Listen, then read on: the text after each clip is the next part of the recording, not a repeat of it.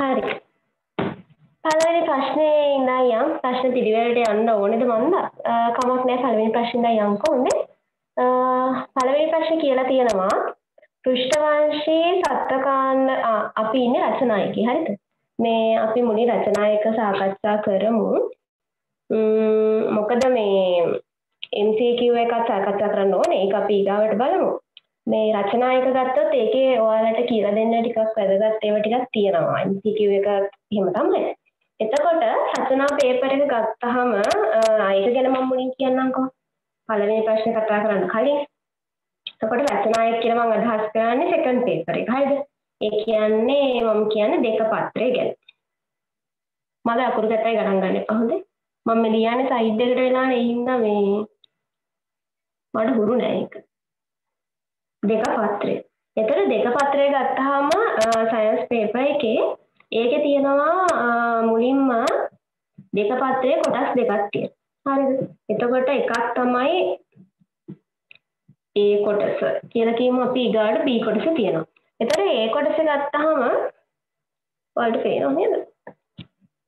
හිතනවා පේනවා කියලා. හරි. එතකොට තව පොඩ්ඩක් ඕන. හරි. එතකොට දෙක පත්‍රය ගත්තාම ඒකේ ඒ කොටසේ තියෙනවා අපි කියන ඒවාට ව්‍යුහගත රචනා ප්‍රශ්න හතරක්. හරිද? ඊගාවට මෙතන B කොටස අපි මේකට කියන කියමු ව්‍යුහගත කොටස. මේ කොටස ලියන්න තියෙන්නේ ඔයාලා දැන් දන්න වෙලේ දැන් විභාගයට යන ළමයිනේ. නේද? මේ කොටස තියෙන්නේ පේපර් එකේම ලියන්න. හොඳේ. ඒ කියන්නේ පේපර් එකේම ලියන්න තමයි මේක තියෙන්නේ. ඔයාලට වෙන පොළවල ලියන්න බෑ. සපයා තියෙන ඉඩ කඩේ ලියන්න ඕනේ. ඊට වඩා ලොකු උත්තර ලිව්වොත් ඔයාලට ලියන්න ඉඩක් නැති. මම දන්නේ. හොඳේ.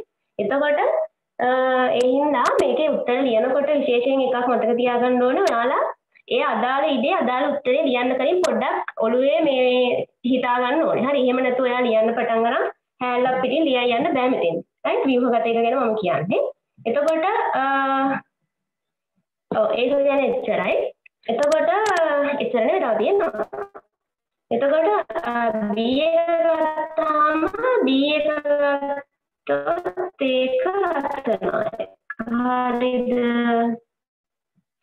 එතකොට රචනාය ගැන කියනවා නම් එතන මම පහක් තියෙනවා. හරි? ආ මේක මේ ඉන්න මම පස්සේ කියන්නම්. එතන මේකේ ප්‍රශ්න පහක් තියෙනවා මේකෙන් ඔයාලා මම හිතන්නේ තුනක් සිලෙක්ට් කරලා ලියන්න ඕන. හරිද? මේකෙන් තුනක් ලියනවා. ලකුණු එන්නේ මෙහෙමයි. මෙතෙන්ට එකකට ලකුණු 20 ගානේ ඔයාලා දැන් තුනක් ලියනවානේ. එතකොට 20 ගානේ තුනක් ලිව්වට පස්සේ එතෙන්ට එනවා ඔයාලට 60. හරිද? ඊට පස්සේ මෙතන 15 ගානේ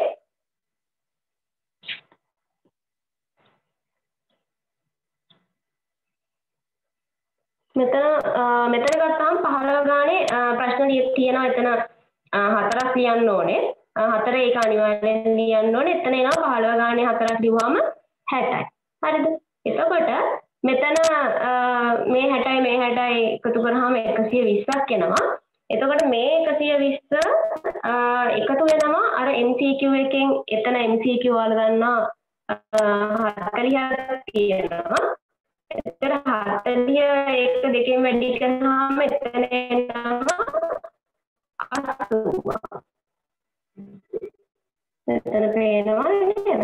නියුම් 80ක් එනවා 81 120 එකතු කරාම 200ක් එනවා. මෙන්න මේක දෙකට බෙදලා තමයි ඔයාලට අවසාන පත්‍රයට 100ක් ලැබෙන්නේ.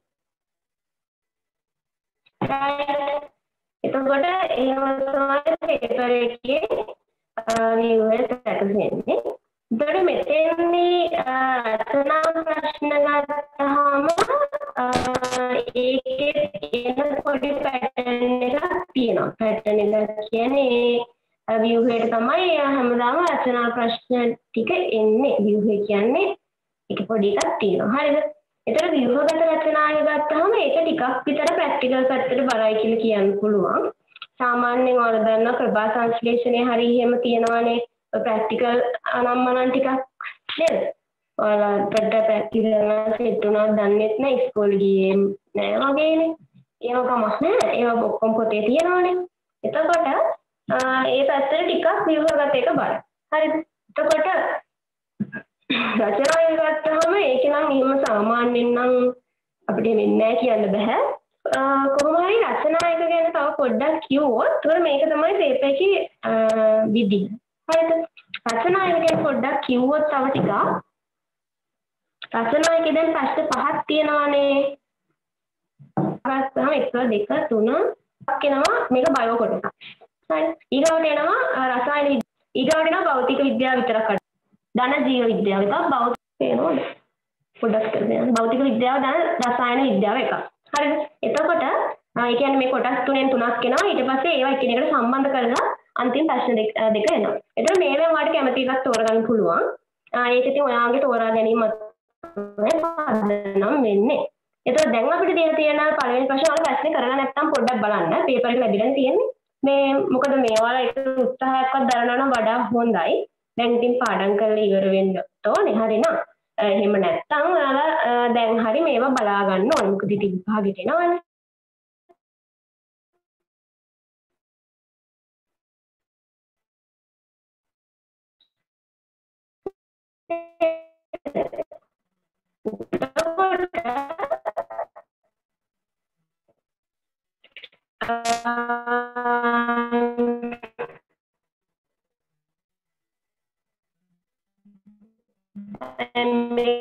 ප්‍රශ්න තියෙන්නේ තියෙන්නේ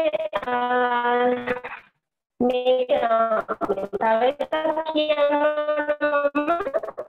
මේක මම දාලා තියෙන ප්‍රශ්න ඕ ලෙවල් තියෙන එකේ විදිහේ ඒ ස්ට්‍රක්චර් එක නම් නෙවෙයි තියෙන්නේ කියලා ඔයාලට පොඩ්ඩක් බැලුවොත් තේරෙයි. හරිද? මම මෙතන ව්‍යුහ ගත්තේ නැත්තරම ඔයාලට තියෙන මේ ප්‍රශ්න ටිකෙන් ඔයාලට බැරි කොටස් ඒ කියන්නේ අනිවාර්යෙන් එන සහ ඔයාලට අමතක වෙලා තියෙන්න පුළුවන් කොටස් වැඩි ප්‍රමාණයක් කවර් කරන්න තමයි බැරි. ඒ හින්දා තමයි මෙතන රචනා පේපර් එකේ මම රචනා ප්‍රශ්න පහක් විතරක් දාලා තියෙන අනික අපිට තියෙන වෙලාවත්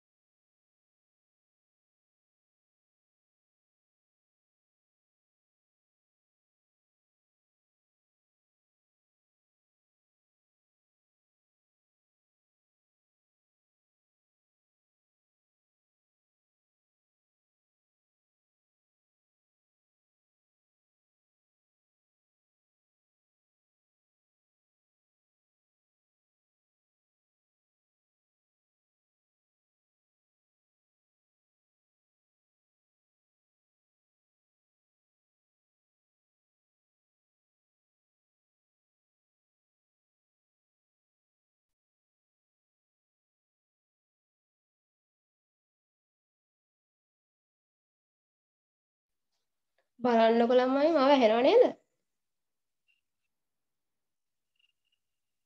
ඇහෙනව ඇති කියලා මං හිතනවා.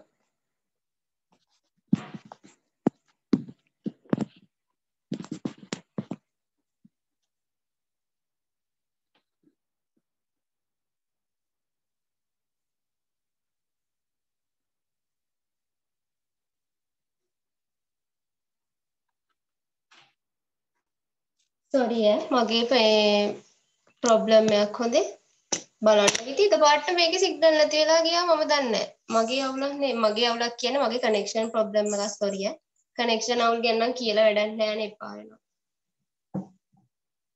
එකපාරට සිග්නල් නැතුව මේ මගේ ඩිවයිස් එකේ ඉන්ටර්නෙට් උත් හොඳයි රවුටර් එකක් නැහැ ගණන් ගන්න එපා ළමයි අපි ඉන්නේ මේ ටිකක් වන්නේ වගේ එකයි මේ හරිය මම කිය කී හිටියේ මොකද්ද කියන්නකෝ? ඒකත් අමුතු වුණා. මේ හරි. කිය කිය හිටිය පේප එක ගැන. හොඳේ? ඔව් දැන් පේප දවස් මේ මම කියන්නේ විභාගෙට තියෙන්නේ පොඩි කාලේ නේද? එතකොට පේප එක ගැන දන්නේ නැත්නම් දැන්වත් දැනගන්න. හොඳේ? නැත්තම් බෑනේ. මේ එතකොට ඕක තමයි ඔයාලට ලියන්න වෙන පේප එක. හරිද? එතකොට මෙහෙමයි ඉතින්. දන්නවනේ ඉතින් ඔයාලා ගත්තාම ටිකක් අභියෝග වලට මුහුණ දීපු ළමයි ටිකක් නේද? එතකොට එහෙමයි කියලා පේපර් එක නම් ඉතින් ලේසි වෙන්නේ නැහැ. හොඳේ? මම කියන්නේ මේ අන්තිම දවස්වල ඔයාලා ගොඩක් දන්නවා. හරිද? එකක් තමයි ඔයාලා ඔයාලගේ ඔළුවල දෙයක් තියෙනවා. හැබැයි ඔයාලා මේ හිතන් ඉන්නවා මම මේක දන්නේ අරක දන්නේ කිය කිය මේ මම මේ අන්තිම දවස්වල කෑක් ගහින්න එපා. රයිට්? එතකොට වැඩිමනත්ම කරන්න තියෙන්නේ ඔයා දැන් පාඩම් නොකරලා තියෙන කොටස් තියෙනවා නම් ඒ කියන්නේ ඔයා මොනවත් මල්ලා නැහැ කියන්නකො සමහර තැනක.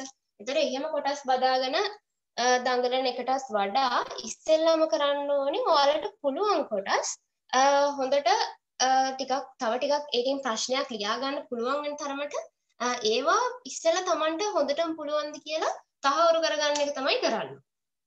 රයිට් මම නම් යෝජනා කරන්නේ එහෙම කරන්න කිය. හරිද? එතකොට නැත්තම් ඔයාලට මොකද වෙන්නේ මේ දන්නේ නැති කොටස කොටස ඒක දන්නේමත් නැහැ කියලා කියනවා. ඒක උඩින් පල්ලෙන් බලාගත්ත කියලා කියමුකෝ.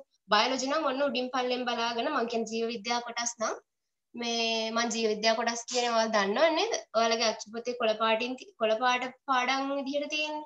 එතකොට ඒව නම් ඔන්න උඩින් පල්ලෙන් බලලා කරගත්ත කියමුකෝ. ඒ වුණාට සාමාන්‍ය රසායන විද්‍යාව, භෞතික විද්‍යාව, භෞතික විද්‍යාව නම් සමීකරණ ටිකක් හරි එහෙම අන්තිම දවස්වල බලලා ඔයාලට ඔළුවට ගන්න පුළුවන්. හරිද? නමුත් විශේෂයෙන්ම 11 ශ්‍රේණියේ අන්තිමට තියෙන රසායන විද්‍යාව පාඩම් හිම ඒව ටිකක් සංකීර්ණ ගතියක් තියෙනවා. ඒ හින්දා ඔයාලා ඉස්සෙල්ලා දන්න ටික ටිකක් තහවුරු කරගෙන ඉන්න. ඊට පස්සේ ඔයාලා නොදන්න ඒවාට යන්න. හරිද? තව දවස් තියෙන්නේ පොඩ්ඩයි නේද? එහෙම කියලා මම මේ ටික දන්නේ නැහැ මේ ටික දන්නේ නැහැ කියලා බය වෙනවට වඩා ඔයාලා දන්න ටික ටිකක් තහවුරු කරගෙන ගියාම ඒක ඔයාලගේ අර කන්ෆිඩන්ස් එකටත් හොඳයිනේ. අපි කියන ආත්ම විශ්වාසයට කියලා නේද? එතකොට ඒ හින්දා ඒ විදිහේ එකක් කරන්න පුළුවන්. ඊගාවට ඔයාලා මේ ඊගාවට මේ ඔයාලා තව එකක් මම කියන්න හිටියේ. මේ මොකද්ද? ආ මේ සමහර වෙලාවට අපිට තියෙනවා තියරිම තියරිම මේ මේ එක තැන කරකව කරකව ඉන්නවට වඩා ඒ කියන්නේ දැන් සමහර පාඩම් තියෙනවා ජීව විද්‍යාව එහෙම අපි දැන් පාඩම් කරනවා. හරිද? ඊට පස්සේ මේ තව කියන්නේ ඊගාව සතිය වෙනකොට ඒ ටික පාඩම් කරාද නැද්ද කියලා මතක නැහැ. අඩුම තරමේ පාඩම වෙනම් මතකත් නැහැ. එහෙම පාඩම් කරන වෙලාවල් තියෙනවා. හොඳේ. මටත් තියෙනවා ඒ වගේ ඒවා. එතකොට ඒ වගේ වෙලාවට සමහර අයට ප්‍රයෝජනවත් වෙන්න පුළුවන් ප්‍රශ්න වලින්ම පාඩම් කර කර යන එක. රයිට්? ඒ කියන්නේ ප්‍රශ්නයක් කරනවා එක්කෝ දැන් මම කරපු විදිහක් තමයි එක්කෝ අපි ප්‍රශ්නයක් ගන්නවා. හරිද? දැන් මේ ප්‍රශ්නේ ජීව විද්‍යා ප්‍රශ්නයක් කියලා කියන්නකෝ. ඒක දැන් ඒක දැන් සමහර කොටස් තියෙනවා අපිට මතකයි. දැන් ජීව විද්‍යා ප්‍රශ්නයක් ගත්තාම ඒකෙදී අපෙන් එක පාඩමකින් කියලා එන්නේ සාමාන්‍යයෙන් කොටස් දෙකක් තියෙනවා නම් දෙක බොහෝ විට පාඩම් දෙකකින් එන්න පුළුවන් right? එතකොට ඒ වගේ වෙලාවට ඔයා එක පාඩමකින් ආපු කොටසක් දන්නවා. හරිද? එතකොට ඒක ඔයාට කරගන්න පුළුවන්. හැබැයි මම මේ කියන්නේ මේ විභාගෙදී නෙමෙයි විභාගෙට කලින් ඔයා ප්‍රැක්ටිස් එකක් විදිහට පේපර් කරනවා නම් කරන්න කියන එක තමයි මම නම් කියන්නේ. ඔයා මොන මට්ටමේ හිටියත් පේපර් එක එන එන ප්‍රශ්න දෙක තුනක් දැනගෙන යන එක ඔයාගේ ඔයාගේ අර මේ එකක් ඔය කන්ෆිඩන්ස් එකට හොඳයි අනිත් එක ඒකෙන් ඇත්තටම මාර වටිනවා මේ වලට විභාගයට ගියාම තේරෙයි එකපාරට දවක් ගාලා විභාගයට යන එක නෙවෙයි මේ හින්දා මම මේ මම ගොඩක් වෙලාට ඕනෝ ළමයින්ට කියන්නේ මේ ඔය ඉස්කෝල වල ළමයින්ටත් කියන්නේ මේ ඒක අන්තිම ටර්ම් ටෙස්ට් එක නම් අනිවාර්යෙන් යන්න පුළුවන් කියලා. හරිද? ඒකත් ඔයාලට සමහරට මිස් වෙන්නේ නැති. එහෙම ඔයාලට යන්න බැරි වුණා නම් අන්තිමට පේපර් ටිකක් පොත බලාගෙන හරි පේපර් වල තියෙන ප්‍රශ්න පාස් පේපර් විශේෂයෙන් උත්තර ලියලා යනවා නම් වඩා හොඳයි කියලා තමයි මම නම් කියන්නේ. එහෙම උත්තර ලියලා යන්න. ඔයාලා දැන් වෙනකන්වත් උත්තර ලිව්වේ නැත්තම් එහෙම උත්තර ලියලා යන්න උත්සාහයක් දරන්න. හොඳයි. එතකොට එහෙනම් දැන් මෙතන තියෙන පළවෙනි ප්‍රශ්නේ ගත්තාම ජීව විද්‍යා ප්‍රශ්නයක් තමයි අපිට තියෙන්නේ. හරිද? එතකොට ඒකෙනුත් මම මෙතන පළවෙනි ඒ කොටසට දාලා තියෙන්නේ ජීවීන් වර්ගීකරණය. සාමාන්‍යයෙන් මේකෙන් එන්න පුළුවන්. ජීවීන් වර්ගීකරණය ගත්තාම ටිකක් ලොකු පාඩමක් එතන ගත්තාම තියෙනවා මම තව මොකක් හරි එක්සෑම් එකට අදාළ පොයින්ට් මතක් වුණොත් මම ඔයාලට කියන්නම්.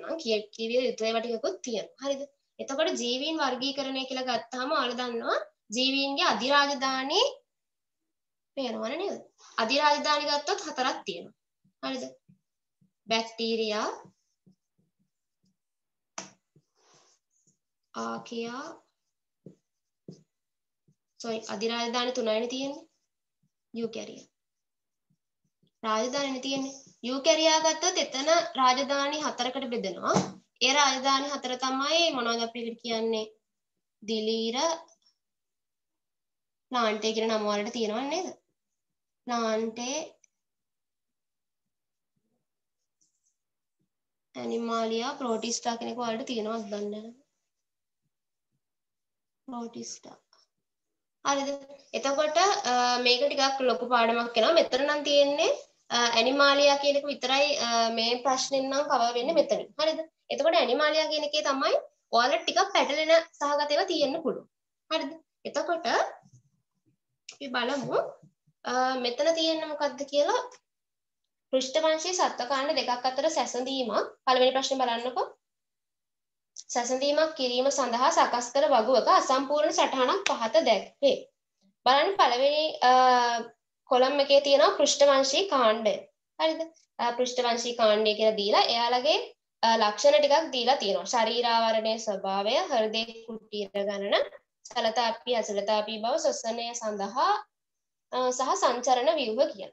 හරිද? එතකොට ඒවා කොහොමද මේ PQ කියලා කියන්නේ? සත්ත්ව කාණ්ඩ දෙකක් කියලා තියෙනවා. එතකොට PQ වල ඒ දැන් අපි අර කලින් කියු පෘෂ්ඨවංශී කාණ්ඩයේ ඒ ලක්ෂණ වලට ලක්ෂණ PQ කියන මේ කාණ්ඩ දෙකේ මොන විදිහද කියලා ඉස්සරහා කොලම් දෙකේ තියෙනවා right?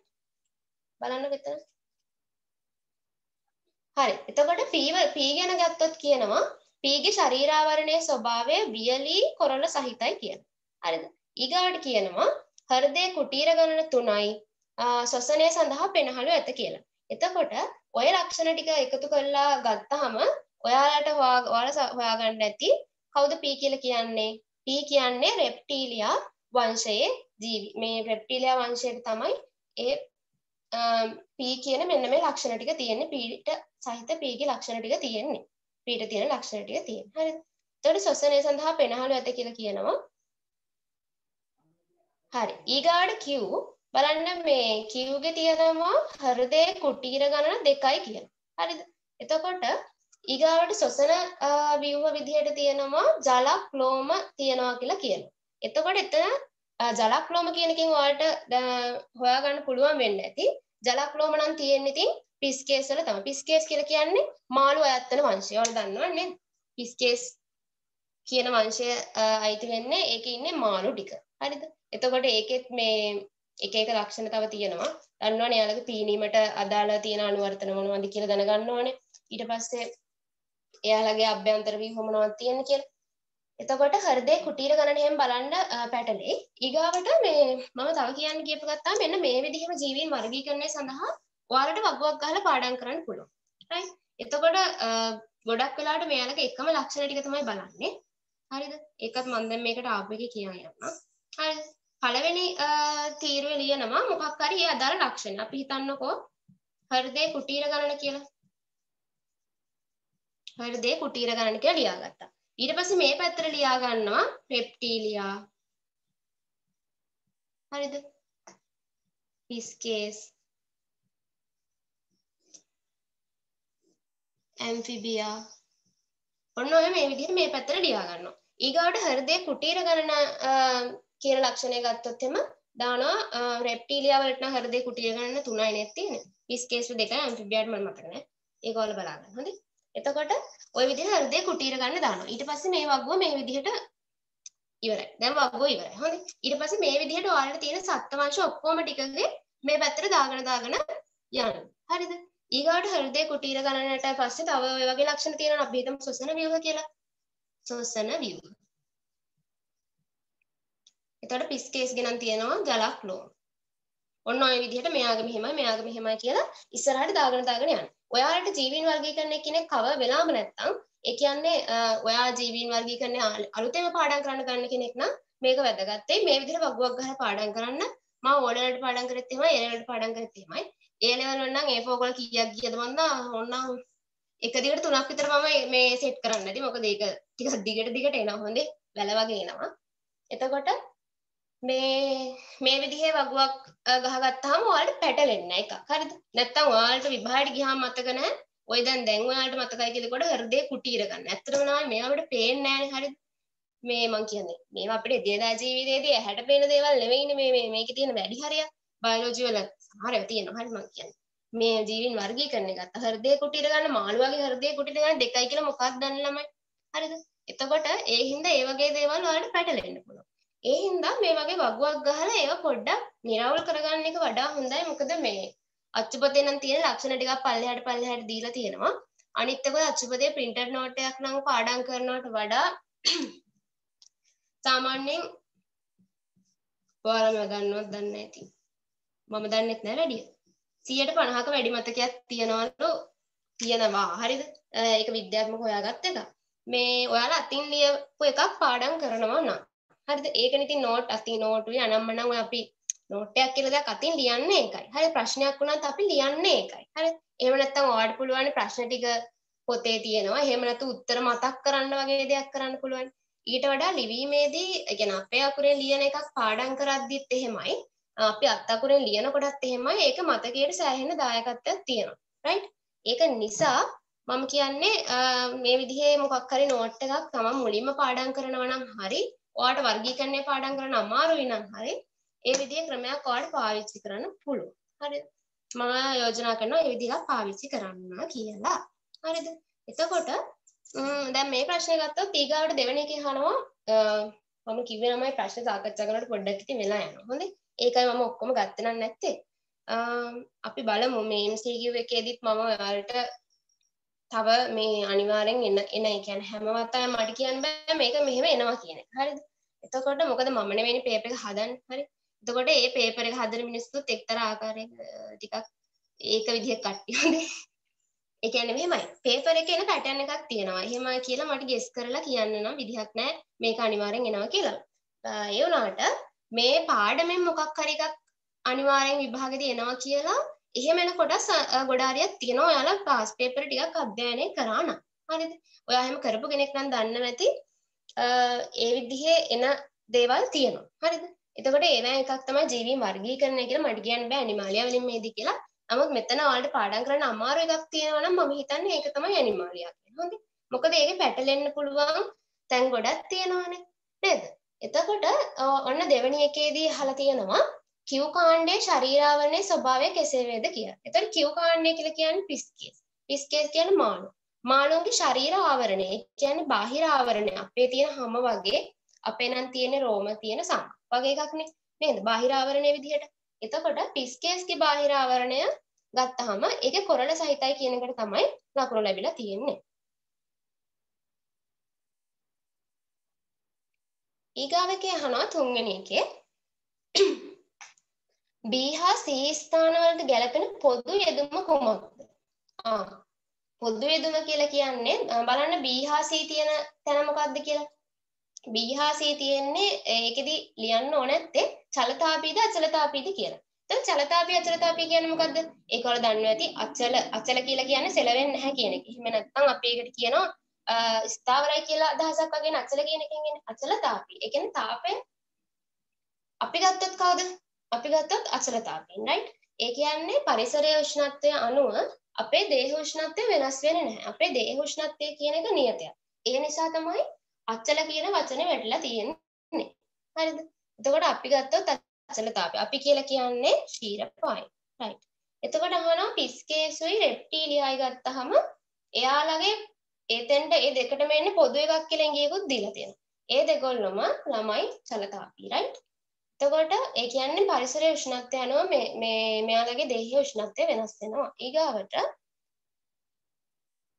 බලන්න හතරවෙනි එකේ හදන DE ස්ථාන වලට යෙදිය යුතු සංචරණ ව්‍යුහ නම් කරන්න. බලන්න D වලට මෙයාලගේ සංචරණ ව්‍යුහ මොකද්ද P ගේ P කියලා කියන්නේ රෙප්ටිය. රෙප්ටිලියාගේ සංචරණ රෙප්ටිලියා කියලා කියන්නේ හූනෝ ඊගාවට තව මොකුන් දින්නේ කිඹුල වගේ වුණුත් රෙප්ටිලියාට නෑ තියෙන්නේ උරගයින්. හොඳේ. එතකොට උරගයින් කිව්වහම ඉතින් ඔයාලගේ ඔළුවට එනවනේ ටිකක් ටිකක් විතර බඩ ගන්න බඩ ගන්න නෙමෙයි අපි කියන්නේ කකුල් වලින් ඒ වුණාට බඩ ගන්න සත්ත්ව නේද? එතකොට ඒ තමයි රෙප්ටිලියා. හරිද? එතකොට සංචරණ ව්‍යුහ ගත්තාම ගාත්‍රා තමයි සංචරණ ව්‍යුහ. හොඳේ. එතකොට ඊගාවට පිස්කේස්ගේ ගාත්‍රා මේ මේ සෝරි. පිස්කේස්ගේ සංචරණ ව්‍යුහ නම් දන්නවනේ නේද වරන්. හරි. එතකොට සංචරණ ව්‍යුහ. ඊගාට පහේ ඒකේ අහනවා කිව් කාණ්ඩයට අයත් සතුන් වාසය කරන පරිසරය කුමක්ද? ඒක නැති ලේසින් අනේ ජලජ පරිසරය. හොඳේ. ජලජ පරිසරය. ඊගාවට පහේ B එකේ අහනවා එම පරිසරයේ සංචරණයට උචිත ලෙස දේහ කවර ආකාර විධාන එක වැදගත්. හොඳේ. ඔය ජීවීන් වර්ගීකරණයේදී බලන්න ඔයාලා පොත අරගෙන ඔයාලට ගත්තත් බය වෙන දෙයක් නෑ නම අච්චුපත විතරයි මේ ඕලෙවල් පේපර් එකට එන්නේ. ඒකට නේ ඔයාලට අච්චුපතක් කියලා දීලා එකක් දීලා තියෙන්නේ. ඒ ලෙවල් වලට එහෙම ලියනකොට ඊට වඩා ටිකක් වෙනස්. හොඳේ. එතකොට මේ අච්චුපත විතරයි එන්නේ ඔයාලට ඕලෙවල් වලදී. දැන් තියෙන ප්‍රශ්නේ ඉතින් අච්චුපත පාඩම් කරගන්න අච්චුපත පාඩම් කරගන්න තියෙන ප්‍රශ්නේ තියෙන නේද? අච්චුපත පාඩම් කරපු කරගන්න බැරියට අනිත් ඒවා ගැන කවර කතාවද කියලා හිතෙන්න පුළුවන්. හරි? එතකොට බය වෙන දෙයක් නෑ. ඔයාලගේ අවශ්‍ය දේවල් ඔක්කොම අච්චුපතේ තියෙනවා. ඒකට පිටින් එනවා කියලා එකක් නම් එන්නේ නැත. රයිට්? එතකොට ඒ හින්දා ඔයාලා බලන්න මේ එක එක මේ වර්ගීකරණය ජීවීන් වර්ගීකරණයේදී මේ සත්තු ඒ මේ පරිසර වලට දක්වන අනුවර්තන හද විශේෂයෙන් පිස්කේ සහ ආවේස් බලා ගන්න. මොකද ආවේස් කියලා කියන්නේ කුරුල්ලෝ එයාලා කොහොමද බය මේ වායෝ පරිසරයට අනුවර්තනය වෙලා තියෙන්නේ. වායෝ පරිසරය කියලා කියන්නේ දන්නවනේ මේ අහස කියන හිතා ගන්නකො. එතන අනුවර්තනය වෙලා තියෙන්නේ කොහොමද? එයාලටත් අනාකූල හැඩයක් තියෙනවා මතක තියාගන්න. එතන පිස්කේස් ගත්තාම එයාගෙත් අනාකූල හැඩය කියන එක තමයි මෙතන උත්තරය අරන් තියෙන්නේ. ඒ හැරෙන්න බලන්න මොකක් හරි ඔයාලා ලියාගෙන තියෙනවා නම් සංචරණයට උචිත ලෙස දේහය අනුවර්තනය වෙලා තියෙන තව මොනවා හරි එකක්. පොතේ තියෙන එකක් නම් ඒක ඒ උත්තරයට ලකුණු ලැබෙනවා. අනිවාර්යයෙන්ම අච්චුපතේ තියෙනවා නම් ඒ අදාළ උත්තරේ ඔයාලට ලකුණු ලැබෙනවා. හරි බය වෙන්න දෙයක්. ඊගාට ඉහත කිව් කාණ්ඩයේ සතුන් වාසය කරන පරිසරවල වාසය කරන අපුෂ්ඨ වංශී කාණ්ඩ දෙකක් නම් කරන්න. කිව් වාසය කරන. කිව් කියන්නේ කවුදනේ? කිව් කියන්නේ පිස්කේස්. ආ පිස්කේස් ඉන්න එකෙම ඉන්න අපුෂ්ඨ වංශීය කවුද කියලා අහනවා. එතකොට අපුෂ්ඨ වංශී කාණ්ඩ දෙයක් කියලා කියන්නේ පිස්කේස් ගත්තාම ඉන්නේ ජලයේ කරදිය මිරිදිය කියලා එකක් නැහැ. ඉන්නේ මේ දෙකේම ඉන්නවා පිස්කේස් තරයි. එතකොට ඒකේ ඉන්න අපෘෂ්ඨ වංශීන් කවුද කියලා අහනවා. ඒ තමයි නිඩාරියා සහ එකයි නොඩමේටා. හරි. එතකොට දැන් අපි මේ කතා කරපු රෙප්ටීලියා, පිස්කේස්, ඇම්ෆිබියා, ආවෙස්, මැමේලියා කියන පස් පස් දෙනා පෘෂ්ඨ වංශී. පෘෂ්ඨ වංශීන් කියලා කියන්නේ ඔයාලා දන්නවා මතක් කරගන්න පෘෂ්ඨ වංශීන් කියන්නේ කවුද කියලා? අච්චුපදේ තියෙන එක මතක් කරගන්න. හරි. එතකොට කොඳු වැඩ පෙළක් තියෙන එකනේ ඒක තව පොඩ්ඩක් මේ මොකක් හරි විද්‍යාත්මක විදිහට කියන්න ඕනද කොඳු වැඩ පෙළක් කියලා දිව්වහම මදිත් දන්නේ නැහැ හොඳේ පොඩ්ඩක් පුතේ බලන්නම ඒක මේ මං ගාව ටෙක්ස්ට් බුක් එකක් නෑ එක මේ 10 වසරේ ටෙක්ස්ට් බුක් ටෙක්ස්ට් බුක් දෙක මං ගාව නැහැ අතේ හරිද ඒ හින්දා තමයි මට මේ පොඩ්ඩක් බලා ගන්න බැරි. මේ ඒක පොඩ්ඩක් බලන්න. හොඳේ. එතකොට මේ අපෘෂ්ඨ වංශයෙන් ගත්තාම අපෘෂ්ඨ වංශයෙන් කියලා කියන්නේ යාලට කොඳු වැඩ පෙළක් නැහැ රයිට් එතකොට අපෘෂ්ඨ වංශීන් වලට කවුද අයිති වෙන්නේ? මතක් කරගන්න අපෘෂ්ඨ වංශීන් වලට අයත් වෙන සත්ත්ව වංශ ටික. හරිද? තියෙනවනේ මේ නිඩාරියා නිඩාරියා නැත්තම් අපි සිඩෙන්ට්‍රේටර් කියනවා නිඩාරියා ඇනලිඩා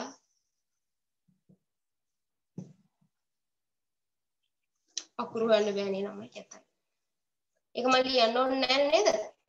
නිඩාරියා ඇනලිඩා මොලුස්කා ආත්‍රපෝඩා එකයි නොඩමේට තමට මොකර මිස් වෙනවා නම් බලන්න මතක් කරගන්න. හොඳේ එතකොට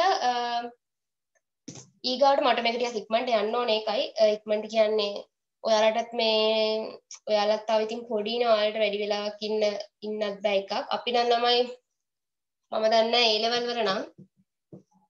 රිවිෂන් ගියාට පස්සේ අපි අට පහ වගේ තමයි. හරිද ජොබ් එකට එනවා වගේ තමයි. හොඳේ? කෙලින්ම අට අට පහ කිව්වට පහත් පහ වෙනවා. ඒ ලෙවල් රිවිෂන් යනවා. නම් රිවිෂන් කියන්නේ ෆුල් රිවිෂන් හොඳේ ඔයාලා දන්නවනේ. එතකොට පස්සේ ඔයාලට දැනගන්න ලැබේ මං කියන සයන්ස් එහෙම කරනවා. නම් මේ කෙලින්ම ඉතින් රස්තාවට ගියා වගේ තමයි ආයෙ දවසම ගත කරන්නේ. එතන කනවද? ඔය කරන ඕන එකක් කරන්න. ඉතින් ආයෙ පන්ති ඇතුලේ තමයි. එතන ඔයාලට තාම එහෙම පුරුදු නෑනේ. ඕනනම් ඔයාලා පැය දෙකක් දෙකමාරක් ඉඳි. ඉතර නම් ඉන්න බෑ. එක තැන. මං කියන අමාරුවෙන් හරි උඩරින් ඉඳි පැය දෙකක් හරි දෙකමාරක්. හරි හරි. එතකොට මේ ඊට වඩා ඉන්න ගියොත් ඉතින් දන්නවනේ වෙනදී අපිට උනත් එහෙම තමයි. අපි උනත් ඉතින් ඔය මේ පීරියඩ් එකක් එහෙම ඉතින් පීරියඩ් දෙකක් එහෙම ඉස්කෝලේ ඉන්නේ කොච්චර අමාරු වෙනද කියලා බලන්න නේද? බයෝ වගේ විෂයක් එහෙම සෙට් වුණාට පස්සේ එක පීරියඩ් එකක් ඉතින් කොහොමත් කරන්න නිදාගන්න එක වගේ තමයි මම නම් එහෙම තමයි. මේ එතකොට විනාඩි 40 පීරියඩ් එකයි කඩලා තියෙන්නේ. 40යි මිනිත්තු. ඇයි තමයි පීරියඩ් එක විනාඩි 40ක් මේ 40කට විතර කරන් තියෙන්නේ. අවධානය තියාගන්න පුළුවන් වෙලාව right? ඔයාලා ඒක අහලා ඇති. අවධානය සාමාන්‍ය මිනිස්සෙක්ට තියාගන්න ඒ කියන්නේ එක දෙයකට අවධානය යොමු කරන්න පුළුවන් විනාඩි 40යි. හරිද? එතකොට ඒ වුණාට A level මේ රිවිෂන් පන්තිය අපි 8 ඉඳන් 5 විතර වෙනකන් ඉන්නවා. කොහොමද ඒකනේ? A level වලට අහම ඉන්න වෙනවා. හරි? එතකොට ඒ හින්දා ඔයාලත් මේ ගානක් නෑ පොඩ්ඩක් ඉන්න. විනාඩි 40 පහ වුණාට කමක් නෑ. මේ මට අවධාන දෙන්න පුළුවන් විනාඩි 40 කියලා ඔයාලට කොහෙවත් නැකිලා යන්න හැම බෑනේ ඉස්කෝලේ හැම මේ ඔයාලා මේ එහෙම නැත්නම් යන ටියුෂන් ක්ලාස් එකේ මේ විනාඩි 40 අවධානය දෙන්න කියලා එහෙම නැකිලා ගිහින් එහෙම නැහැ නෝල. හිටියන ඉස්කෝලේ නේද? එතකොට මේ ඒ හින්දා අහගෙන ඉන්න. හොඳයි එතකොට ඊගාවට බලන්න B කොටස තියෙනවා. B කොටස මේ B කොටස මම ප්‍රශ්නේ දාපු එකෙන් ඔයාලට කවර් කරන්න හැදුවේ කවර් කරන්න කියන්නේ මම ඔයාලට තුන රීක්ෂණයක් වගේ මතක් කරන්න හැදුවේ වර්තනය කියන පාඩම. වර්තනය කියන එක ප්‍රකාශ විද්‍යාව කියන ඔයාලගේ තියෙන පාඩමේ තියෙන එක කොටසක්. ප්‍රකාශ විද්‍යාව ගත්තාම එතන තියෙනවා කාච තියෙනවා. කාච වලට කලින් තමයි වර්තනය කියන එක තියෙන්නේ. එතකොට වර්තනය කියන්නේ මොකක්දනේ? වර්තනය අත්දැකලා තියෙනවද වර්තනය කියන එක? දන්නවනේ සාමාන්‍ය පැන්සලක් වගේ එකක් වතුර විදුරකට දාලා ඕක හැමලාවෙම කරනවා. හරි? ඕක ඒ O level ළමයි විතරක් නෙවෙයි 6 7 ළමයිනුත් කරනවා නේද? එතකොට වර්තනය කියලා කියන්නේ මෙහෙම වර්තනය සිද්ධ වෙන්නේ මොකක් හින්දාද? ඉර ඇද්දයියනේ. තදරනේ. වර්තනය කියලා කියන්නේ නෑ මේක අපි කියලින්නවා. එකම ආලෝක කිරණයක් ආලෝක කිරණ තියනවානේ ආලෝක කිරණ එක මාධ්‍යයකින් ගන්න තවත් මාධ්‍යයකට ගමන් කිරීමේදී නැමී ගමන් කිරීම තමයි වර්තනය කියලා කියන්නේ. හරිද? එතකොට මේ මෙතන ඔයාලා අහලා ඇති ගහන මාධ්‍යයයි විරල මාධ්‍යයයි කියලා දෙකක් තියෙනවා. හරිද?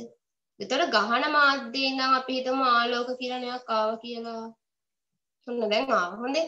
එතකොට මේ මාධ්‍ය දෙක දැන් මේක මාධ්‍ය දෙකක්. හරිද? සෝරි. මේක අපි ගමු. මේක අපි නිකන් මේක හිතන්න උඩ තියෙන ජලය කියලා. නෑ මම මෙහෙම කරන්නම්.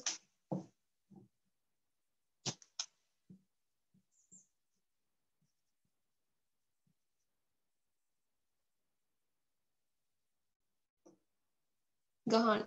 මේ තියෙන වතුර. හරි. එතකොට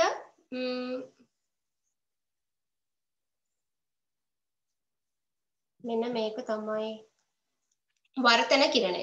මේ සෝරි සෝරි ස්ක්‍රීන් සෝරි. මේකට කියන්නේ අපි පතන කිරණය කියලා. හරිද? පතන කිරණය කියලා අපි හඳුන්වනවා. මේකට කියනවා අපි පතන කෝණය කියලා. එතන මේ මොකක් හරි මාධ්‍ය දෙකක් තියෙනවා. මාධ්‍ය දෙකක් right? එතකොට මේ හිතන්න ගහන මාධ්‍ය ගත්තොත් දැන් ජලයයි වාතයයි ගත්තොත් එතන ගහන මාධ්‍ය වෙන්න පුළුවන් මොකද්ද? දන්නවද? ජලයයි වාතයයි තිබ්බොත් එතන ගහන මාධ්‍ය වෙන්නේ මොකද්ද? ගහන මාධ්‍ය වෙන්නේ ජලය. හරිද? එතකොට ගහන මාධ්‍යය විරල මාධ්‍යය පටල ගන්න එපා. ඒ දෙකේදී ආලෝක කිරණ හැසිරෙන හැටි තමයි මෙතන අපි වර්තනයේ දැනගන්න ඕනේ. එතකොට ගහන මාධ්‍යයට යනකොට මොකද වෙන්න ඕන නැත්තේ? මේ ආලෝක කිරණය ආලෝක කිරණය අභිලම්බයේ දෙසට හැරෙන්න ඕනේ. හරි. අභිලම්බයේ දෙසට. මෙන්න මේ තියෙන්නේ අපි මේක R කියලා ගමුකෝ. මෙන්න මේ තියෙන්නේ පේනවද කොහොමද? හරි. මේ තියෙන්නේ මොකක් හරි වර්තන කෝණය. හරිද? මේ තියෙන්නේ වර්තන කිරණය. අපි මෙන්න මේකට කියනවා අභිලම්බය කියලා. මේක අඳින්න අපි මාධ්‍ය දෙක දෙකට ලම්බකයි මේ අභිලම්බය කියන එක. හරිද? ඒතර වර්තනයේදී වෙන්නේ මෙන්න මේක තමයි. එතකොට ඇයි මේ වර්තනය කියලා දෙයක් වෙන්නේ? ඒවා ඒවා වැඩිය පේපර් එකට නම් ඉච්චරම අහන්න පුළුවන්. හරිද? එතකොට මාධ්‍ය දෙක අතර ආලෝකය ගමන් කරන වේගය. ඒ කියන්නේ ආලෝකය වාතය ගමන් කරන වේගයෙන් නෙවෙයි ආලෝකය ගමන් කරන්නේ මේ ජලයේදී. හරිද? වාතයේදී ගමන් කරන වේගයෙන් නෙවෙයි. අන්න ඒ හින්දා තමයි මේ ආලෝකය එක මාධ්‍යයකින් තව මාධ්‍යයකට යනකොට නැමිලා ගමන් කරන්නේ. හරිද? එතකොට ඒක තමයි මේ වර්තනය කියන සංසිද්ධියට හේතුව වෙන්නේ. හරිද? එතකොට ගහන මාධ්‍යය විරල මාධ්‍යය කියලා දෙකක් තියෙනවා. මෙන්න මේ ටික තමයි සාමාන්‍ය වර්ධනය වෙන අවස්ථාවේදී ඔයාලා දැනගන්න ඕන කියන සටහනක් කරනකොට ප්‍රධාන ඒවා ටික. හරිද? එතකොට මෙතන වර්තන නියම කියලා ටික දෙකක් තියෙනවා. වර්තන නියම කියලා ළමයි දෙකක් තියෙනවා. හරිද? එකක් තමයි මම කතා කරන භාෂාවෙන් කිව්වොත් මේ පතන කිරණයයි මෙන්න මේ කිරණ දෙකයි අභිලම්බය මේ කෝණයි එකම තලයක තියෙනවා. තලය කිව්වම මෙන්න මේක. හරිද?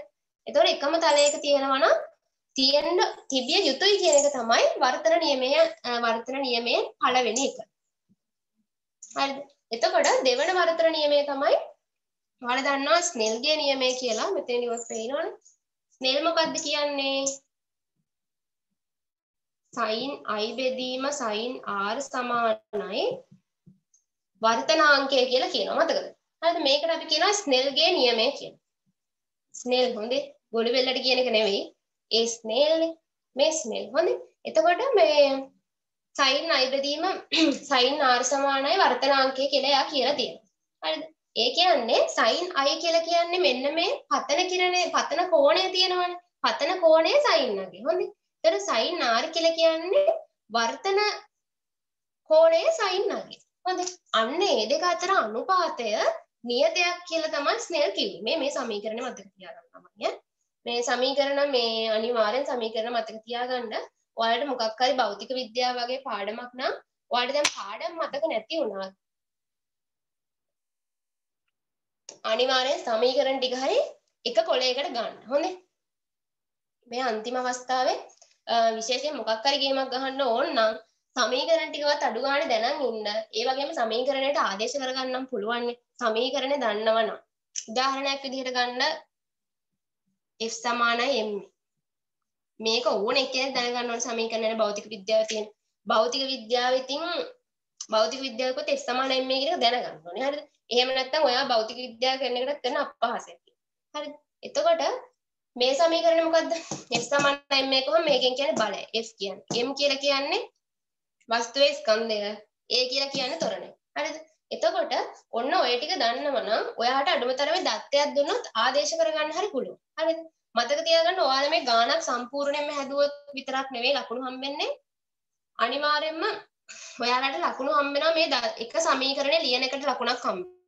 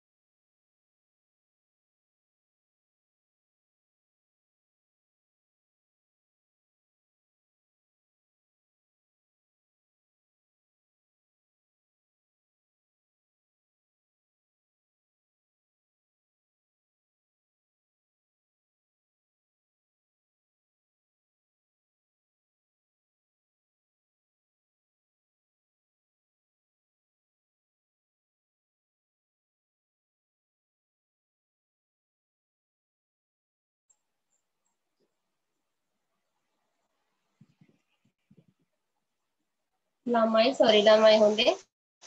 මේ කට්ටනවා කියන්නේ නෑ. නමයට පෙර කලින් කට්ටුනේ. දැන් නමය හමාට ආය කට්ටු නෑ. ගහෙන් යන මෙහාට ගොඩ යන්න වගේ තමයි වෙන්නේ. මෙහාට වහිනවා හරි. මේක මගේ අරපු දෙයක්වත් නෙමෙයි. ඒ උනාට කරන්න දෙයක් නෑ. මටම තමයි හොරි කියන්නත් වෙලා තියෙන්නේ දැන් රෙකෝඩ් කරන්නේ දුවිඳ. දුවිඳටත් සොරි කියන්න වෙලා තියෙන්න මට. කවන්න දැන් මං කිය කී හිටියේ කොතනද සමීකරණ ටික මතක තියාගෙන යන්න කියලා. මෙහෙමයි ළමයි. මේ මේක ආය ආය කට්ටුනොත් එම මේ ඔයාලා ප්‍රශ්න පේපර් එක ඉස්සරහට කරන් යන්න. හරිද? නැත්නම් ඔයාලා නිකන් ඉන්න එපා උතන ඉන්න ගමන්. මේ අනිවාර්යෙන් වැඩේ කරගෙන යන්න කට්ටුනා නෙවෙයි මොන මගුලුණත් මේක මම අර කරනවා. හරිද? මොකද දැන් මේ අද උදේ ඉඳන් මොකක් හරි මේ අවුලක් තියෙනවා එක්ක මේ මොකද නැකිලා තියෙන වැරදි පැත්තෙන් හරි මොකක් හරි එකක් තියෙනවා. හරිද? මෙහාට වහිනවා මේ මදිවට. මේ ඉන්න කනෙක්ෂන් එක කනෙක්ෂන් අවුට් හරි? එතකොට මේ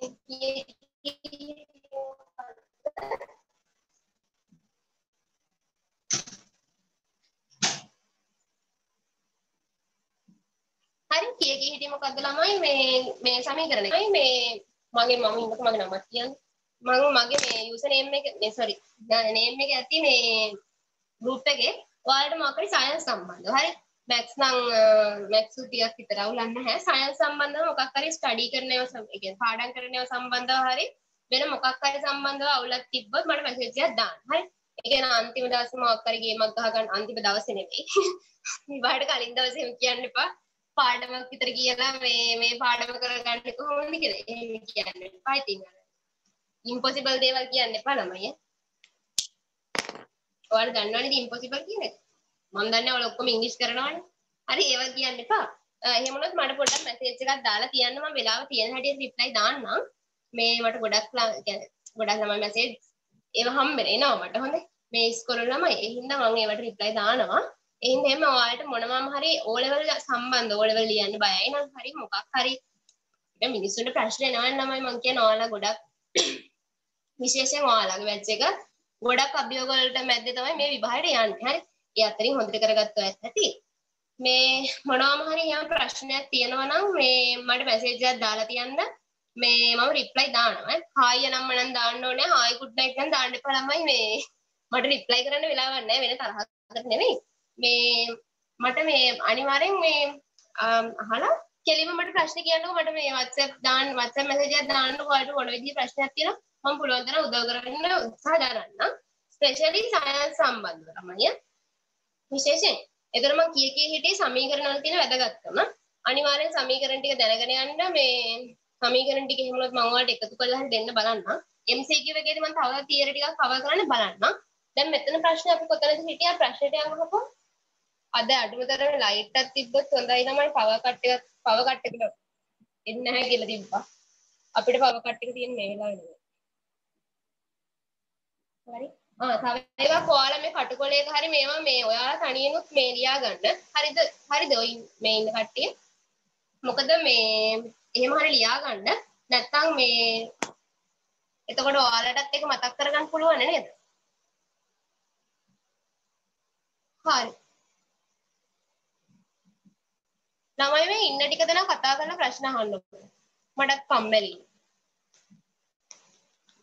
ඈ. ඔයාලා කතා කරලා අහන්න ඕනේ කක්කොන්දේ. මොකද මේක YouTube live එකක් විදියට යන්නේ නැහැ නේ. හින්දා ලැජ්ජ වෙන්නේ නැතුව ඕන එකක් අහන්න. ඔයාලට මේ ඕන එකක් කවර් කරලා දෙන්න ඕන නම් ඒක කියන්න. හොඳේ. මේ එහෙම වුණොත් මේ මේ සෙමිනාර් එකට අදාළ නැතුව හරි මට මැසේජ් එකක් දාන්නකෝ ඔයාලා ඔයාලා කට්ටිය හරි එකතු වෙලා හරි මේ එහෙම වුණොත් අපි කරගමු ඒක. හරිද? හරි. එතකොට මේ වර්තනය ගැන ඔය ටික තමයි. ඊගාට මෙතන පළවෙනි එකේ අහන එක බලන්න.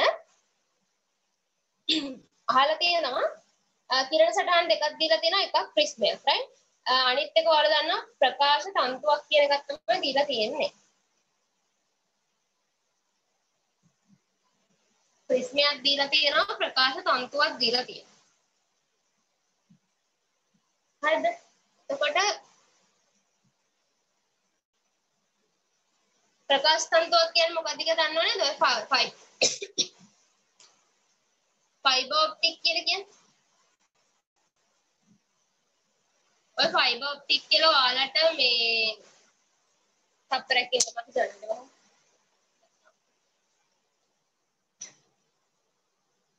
හරි.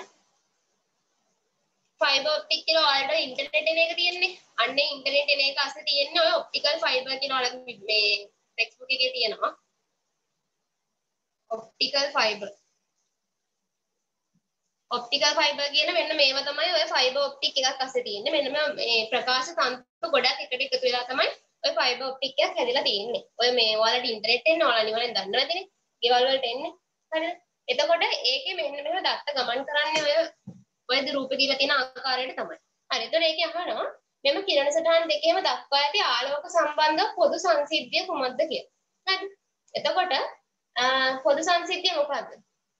අනිවාර්යයෙන් ඔයාලා දන්නවා ප්‍රකාශ තන්තුවක් අස්සේ මොකද්ද මේ වෙන්නේ කියලා. අපි ඒකට කියනවා පූර්ණ අභ්‍යන්තර පරාවර්තනය කියලා. පූර්ණ අභ්‍යන්තර පරාවර්තනය.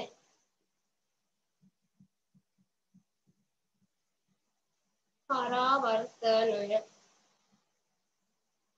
හරි. එතකොට පූර්ණ අභ්‍යන්තර පරාවර්තනය කොහොමද වෙන්නේ? හරි. එතකොට මෙහෙම මාධ්‍ය දෙකක් තියෙද්දි ඕකත් අර මේ වර්තනයේම කොටසක් තමයි, right? වර්තනයේම එකක් තමයි පූර්ණ අභ්‍යන්තර පරාවර්තනය කියලා කියන්නේ. එතකොට ගහන මාධ්‍යක ඉඳන් අපි එකට කියනවා විරල.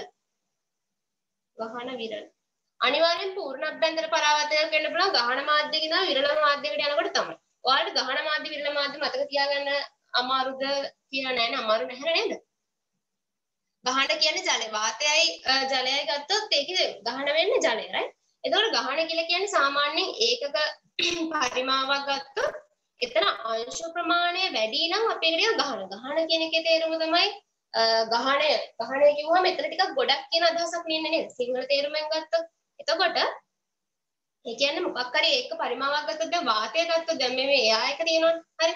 මේකේ ගත්තොත් අංශ ප්‍රමාණය අඩුයි කියලා ඔයාලට තේරෙනවනේ. ඒ වගේ නෙවෙයි මේ ප්‍රමාණය තියෙන ජලය ටිකක් ගත්තොත්. එතන අංශ ප්‍රමාණය වැඩි. එතන ඊට වඩා ඝණයක් ගත්තොත් වීදුරු වගේ එකක් ගත්තොත් එතන අංශ අංශ හිල්ලා තියෙන ප්‍රමාණය ඊටත් වඩා වැඩි. හරි. එතකොට ඒ ඒ විදිහට එතකොට ඒ වගේ අවස්ථාවල පිළිවෙලින් වීදුරු හා මේ ජලය තමයි ගහන මාධ්‍ය වෙන්නේ. විරල මාධ්‍ය වෙන්නේ වාතය. හරිද?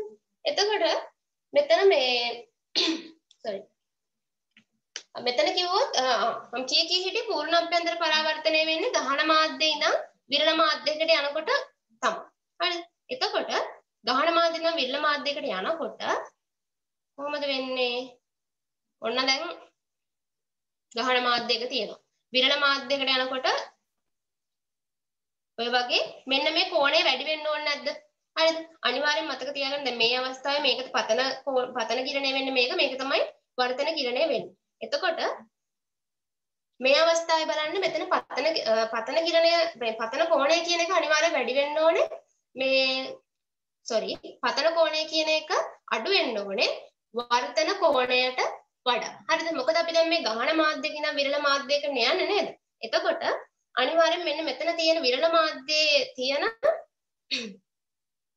වර්තන කෝණය කියන එක වැඩි වෙන්න ඕනේ පතන කෝණයට වඩා. හරි? අනිවාර්යෙන් ඒක මතක තියාගන්න මාධ්‍ය දෙකේ යනකොට කෝණ කොහොමද වෙනස් වෙන්නේ කියන එක. හරි. ඊගාවට මේකම අපි බලන්න පොඩ්ඩක් අපි හිතලා බලන්න මේකෙම අපි මේ පතන කෝණය කියන එක වැඩි කරා කියලා හිතන්න. මේ පතන කෝණය කියන එක අපි වැඩි කරා. ඒ කියන්නේ මේ i කියන එක අපි වැඩි කරනවා. දැන් මොකද වෙන්නේ? r කියන එක මොකද වෙන්නේ? r අඩුද වෙන්න ඕනේ වැඩිද වෙන්න ඕනේ? ඒ කියන්නේ වර්තන කෝණය අඩුද වෙන්න ඕනේ වැඩිද වෙන්න ඕනේ? වර්තන කෝණය ළමයි වැඩි වෙන්න ඕනේ. තව ටිකක් මේක මෙහෙට යනවා. හරිද? ඒකට හේතුව මොකද්ද? ඇයි මේ වර්තන කෝණය වැඩි වෙන්නේ? තමයි ඔයාලට මතකද ස්නෙල් ස්නෙල්ගේ නියමයේදී කියනවා n කියලා කියන්නේ මේ sorry sin i යට sin r කියලා කියන්නේ නියතයක් කියලා. නියතය එහෙම නැත්නම් අපිට කියන වර්තනාංකය කියලා. හරිද? පේන්නද? නැත්නම් මේක මකමුකෝ.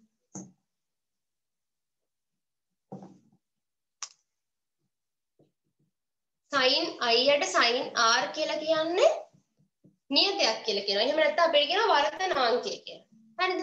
එතකොට අපි දැන් මේක මේ දෙපැත්තෙන් වැඩි කරමු මම ඔයාලට මේක පැහැදිලි කරන්න ලේසි වෙන්න මේ පැත්ත sin r වලින් වැඩි කරනවා. මේ පැත්තත් sin r වලින් වැඩි කරනවා. sin r ට sin r කැපෙනවා. එතකොට එනවා sin i සමානයි n sin r කියලා. හරිද?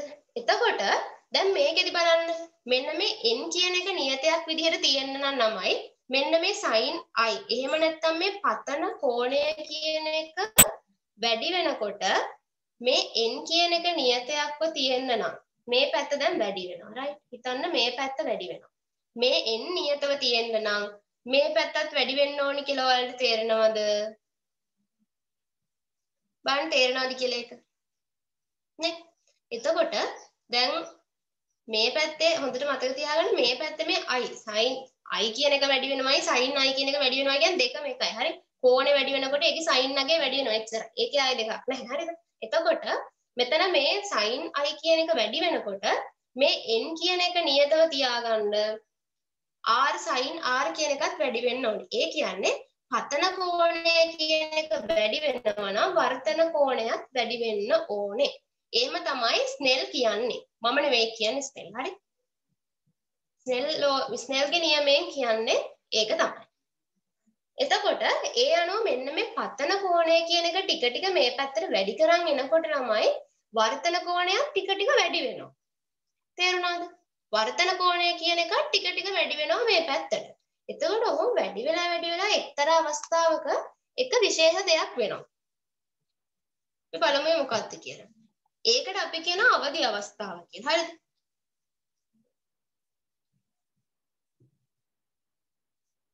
අවදි අවස්ථාව. බලා ගන්න.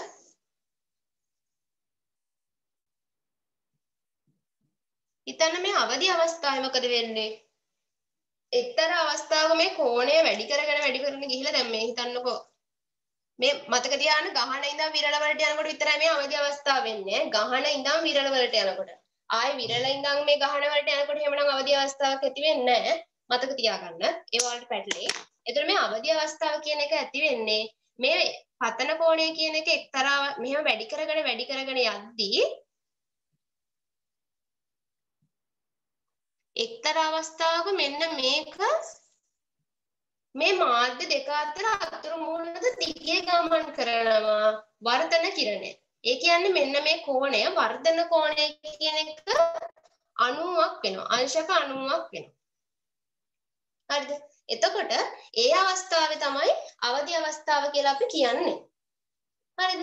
එතකොට මේ දැන් පත පතිත කිරණය පතිත කිරණයේ පතන කෝණය වැඩි කරගෙන වැඩි කරගෙන ගිහිල්ලා එක්තරා අවස්ථාවක වැඩි කරාට පස්සේ ඒ අවස්ථාවේදී මේ වර්තන කිරණය කියන එක මාධ්‍ය දෙක අතර ගමන් කරනවා.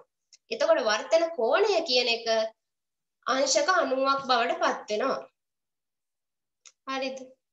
එතකොට බැරි වෙලාවත් තව ටිකක් මේක වැඩි කරන්න පුළුවන්. දැන් ඔන්න අවදි අවස්ථාවටත් ආවා. තව ටිකක් මෙන්න මේ පතිත පතන කිරණය මේ වැඩි කර පතන පතන කිරණය මෙහාට මෙහාට කරලා පතන කෝණය වැඩි කරොත් මොකද වෙන්නේ? තව ටිකක් වැඩි කරොත් මේ අවදි අවස්ථාවට අවදි අවස්ථාව පන්නලා පූර්ණ අභ්‍යන්තර පරාවර්තනය වෙනවා. ඔන්න ඔයක තමයි අවස්ථා තුන වෙන්නේ. මෙන්න මේ පළවෙනි මම කළු පාටින් ඇඳලා තියෙන එක මෙන්න මේක තමයි සාමාන්‍ය වර්තනයක් වෙන අවස්ථාව. මෙන්න මේක තමයි අවදි අවස්ථාව. මේ අවස්ථාව තමයි පූර්ණ අභ්‍යන්තර පරාවර්තනයක් වෙන අවස්ථාව. තේරුණාද? හරි. එතකොට අවදි අවස්ථාව ගැන දන්නවා. අවදි අවස්ථාව සහ පූර්ණ අභ්‍යන්තර පරාවර්තන. එතකොට මෙතන නම් කතා කරන්නේ පූර්ණ අභ්‍යන්තර පරාවර්තන ගැන විතරයි. පූර්ණ අභ්‍යන්තර පරාවර්තනයේ විශේෂ එකක් තියෙනවා. ඔන්න දැන් අවදි අවස්ථාව ගත්තොත් ඒක දැන් පන්නලා තියෙනවා. පූර්ණ අභ්‍යන්තර පරාවර්තනය පූර්ණ අභ්‍යන්තර පරාවර්තනය ගත්තාම එතන මෙන්න මේ අවදි කෝණයෙන් sorry පතන කෝණය කියන එක සහ මෙන්න මේ වර්තන කෝණය කියන දෙක සමාන වෙනවා. තේරුණාද? එතකොට මේ ඒ කියන්නේ මේ මාධ්‍ය දැන් කලින් වතාවේ මේ අවදි අවස්ථාව පන්නපු ගමන් මෙන්න මේ දැන් මේක හිතන්නකෝ ජලය කියලා. හරි. මෙන්න මේ මේක තමයි පතන කිරණය. මේක තමයි වර්තන කිරණය. එතකොට වර්තන කිරණය ආපහු ඒ මාධ්‍යයට වෙනවා කියනක ඔයාලට මතකයි නේද? අවදි අවස්ථාව කියලා කියන්නේ දැන් කලින් වර්තනය වුණේ කොහොමද? මෙන්න මෙතන වතුර තියෙනවා. මෙන්න මෙතන වාතය තියෙනවා. හරිද? වර්තනය වෙන අවස්ථාවේදී ජලයේ ඉඳන් වාතයට තමයි මේ කිරණය මේ විදිහට වර්තනය වුනේ. මම කඩේලෙන් අඳින්නම්කෝ. මේ විදිහට වර්ධනය වුණා.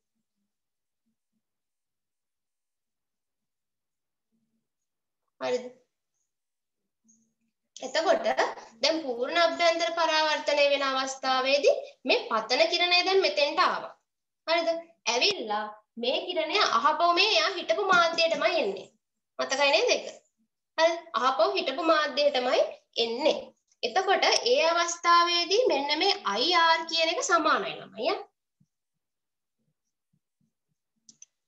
පතන කෝණය කියන එක වර්තන කෝණයට සමාන වෙනවා. මේ පූර්ණ අභ්‍යන්තර පරාවර්තන අවස්ථාවේ. හරි. එතකොට මෙතන දැන් පූර්ණ අභ්‍යන්තර පරාවර්තනයක් අන්න ඒ වගේ අවස්ථාවක් ගැන තමයි කියන්නේ. එතකොට අන්න එක තමයි පළවෙනි එකට උත්තරේ. එම සංසිද්ධිය ඇතිවීමට හේතුව මොකක්ද? සංසිද්ධිය ඇතිවීමට හේතුව තමයි පතිත කෝණය අදාළ මාධ්‍යයේ අවදි කෝණය ඉක්මවීම. එතකොට අවදි කෝණය කියන්නේ මොකක්ද කියලා මම ඔයාලට කියන්නේ නැද්ද? අවදි කෝණය කියන්නේ මොකක්ද කියලා දන්නව නේද?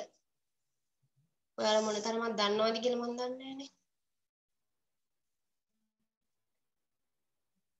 මෙන්න මේ පතිත කිරණය වැඩි කරගෙන වැඩි කරගෙන යනකොට එක්තරා අවස්ථාවකදී මේ වර්තන කිරණය මං කියවන ගමන් කරනවා කියලා මාධ්‍ය දෙක අතර අතුරු කොහොනත දිගේ වේදී පතන කෝණයට තමයි අපි කියන්නේ අවදි කෝණය කියන. ඕන එකක් මතක් කරගන්න ළමයි ඈ. මොකද්ද මේ අපි වර්තනයක් වෙන අවස්ථාවේදී මේ පතිත කිරණය ටික ටික පතිත කෝණය වැඩි කරගෙන වැඩි කරගෙන ගිහිල්ලා එක්තරා අවස්ථාවකදී එහෙම පත පතන කෝණය වැඩි කරගෙන වැඩි කරගෙන යද්දී එක්තරා අවස්ථාවකදී මේ වර්තන කිරණය තියෙනවනේ වර්තන කිරණය ගමන් කරනවා මාධ්‍ය දෙක අතර අතුරු මුහුණතේ. ඒ ගමන් කරනකොට පතන කෝණය මතක තියාගන්න පතන කෝණය තමයි C එහෙම නැත්නම් අවදි කෝණය කියලා අපි සඳහන් කරන්නේ. එතකොට මේ අමවල් දන්නවනේ මේ අනිවාර්යෙන් පතන කෝණය වැඩි කරගෙන වැඩි කරගෙන යනකොට වර්තන කෝණයත් වැඩි කරනවා. වැඩි වෙනවා. පතන කෝණය වැඩි වැඩි කරනකොට වර්තන කෝණය වැඩි වෙනවා. වර්තන කෝණය කියන එක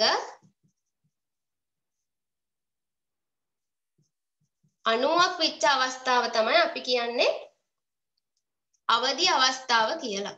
මතක තියාගන්න වර්තන කෝණය 90යි. ඒ අවස්ථාවේ පතන කෝණය තමයි C කියලා අපි කියන්නේ. C කියලා කියන්නේ අවදි කෝණය.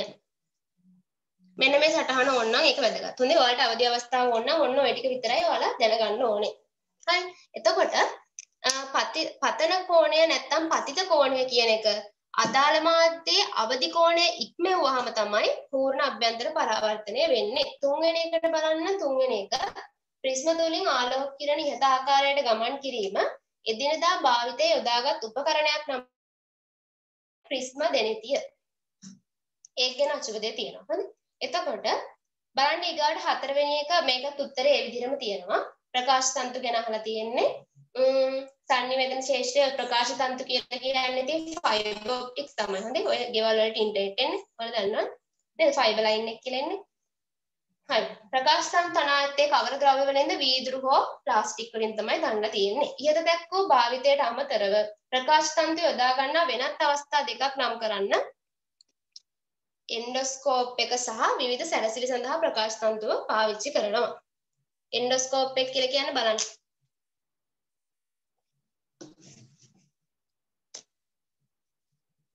ඒ කොලේ සිලබස් එකේ තියෙන එකක් හොඳේ. එන්ඩොස්කෝප්. එක සහ විවිධ සැරසිලි අවස්ථා සඳහා මේවා භාවිතා කරනවා. ඊගාට බලන්න ඒකෙම මේ ප්‍රශ්න දිගයි. සාමාන්‍ය පස්වෙනි පාර්ට් එකේ තියෙනවා මේක ඔයාලට කරන්න ඕන කාලේ දන්නව නේද? පැය 3යිනේ මුළු පේපර් එකම තියෙන්නේ.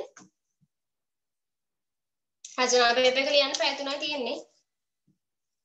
මේ පැය 3ේම ඔයාලා ලියන්න ඕනේ. රචනා ප්‍රශ්න තුනක් ලියන්න ඕනේ. ව්‍යුහගත රචනා හතරක් ලියන්න ඕනේ. පැය 3න් ඈ 3 එතකොට සාමාන්‍යයෙන් අරකට ලකුණු 20. කොහොමද වෙලාව කැඩෙන්නේ මම? විනාඩි 180න් තියෙන්නේ. මිනිත්තු වලින් ගත්තොත් 180යි.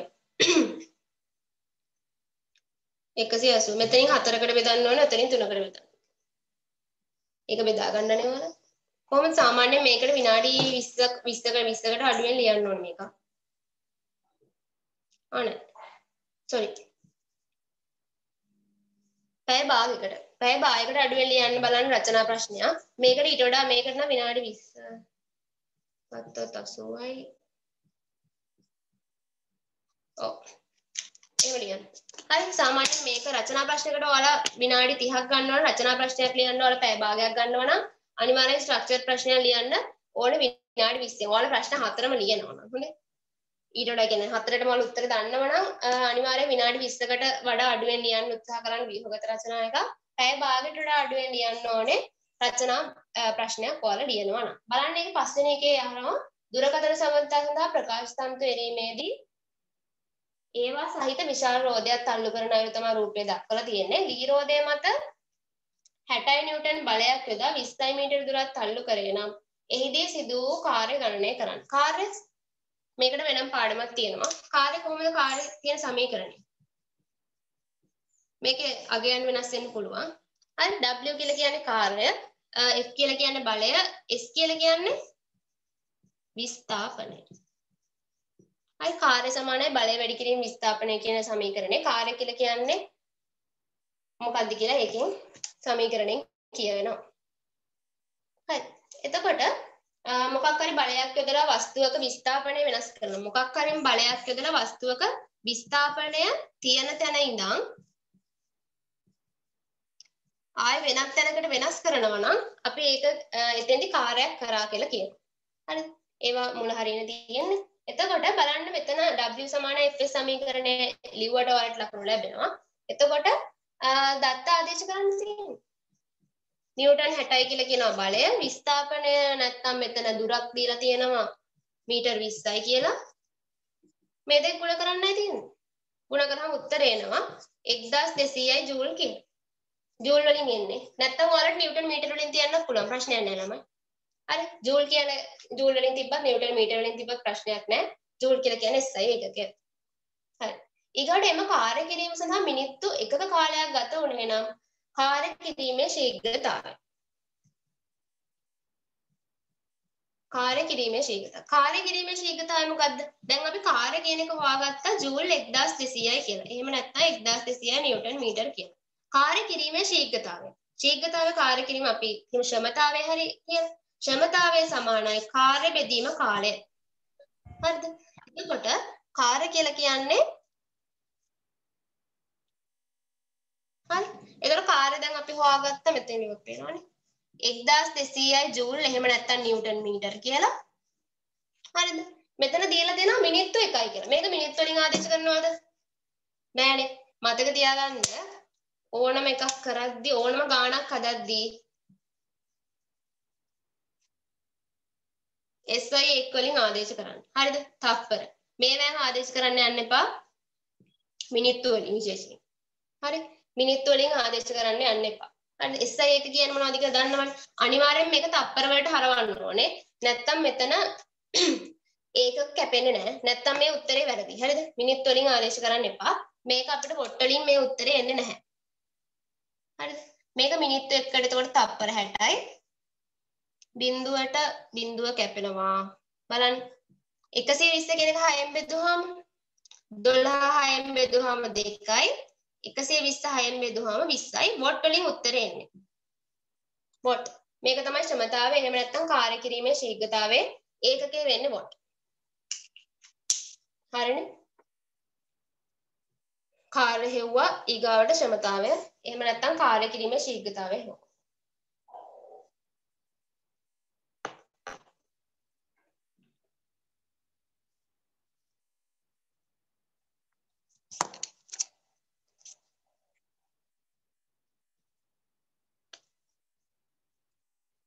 ඊගාවට රසායන විද්‍යාව ප්‍රශ්නයකට යන්න.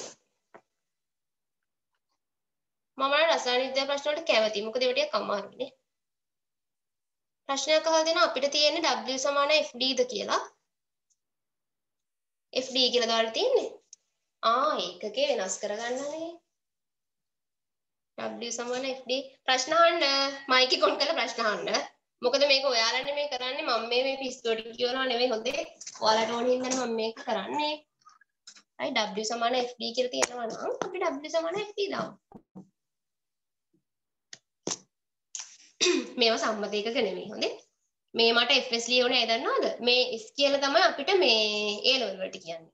A level වලට අපිට විස්ථාපනය වෙනවට පාවිච්චි කරන්නේ s කියන සංකේතය හොඳේ?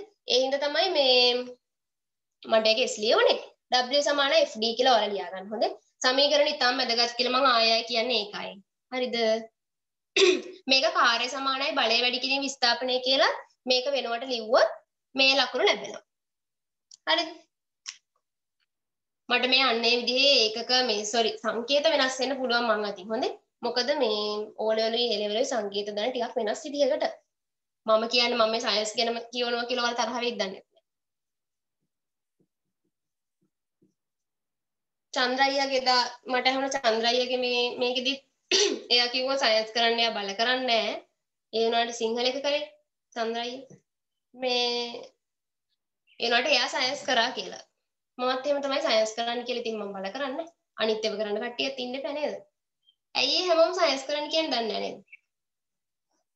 පොඩ්ඩක් හොයලා බලන්න. ඔයාලා A level කරන්න කලින් A level උත් කරන්න එපා. ඔය O level ඒ නමයක් කියම අරන් නේද ළමයි?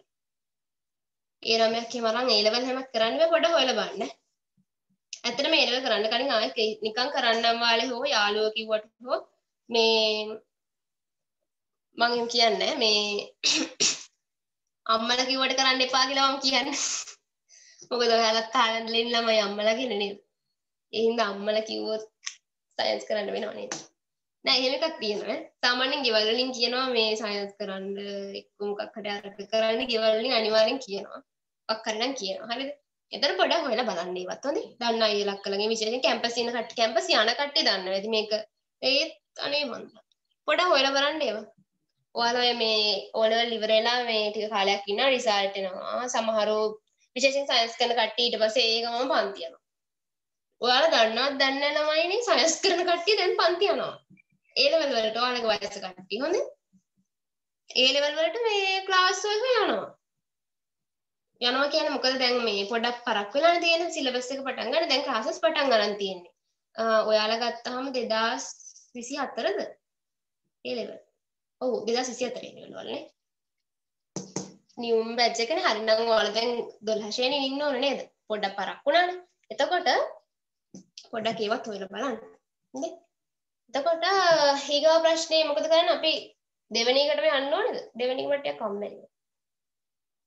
දෙවෙනි එකේ තියෙන්නේ බලන්න දෙවෙනි ප්‍රශ්නේ පොඩ්ඩක්.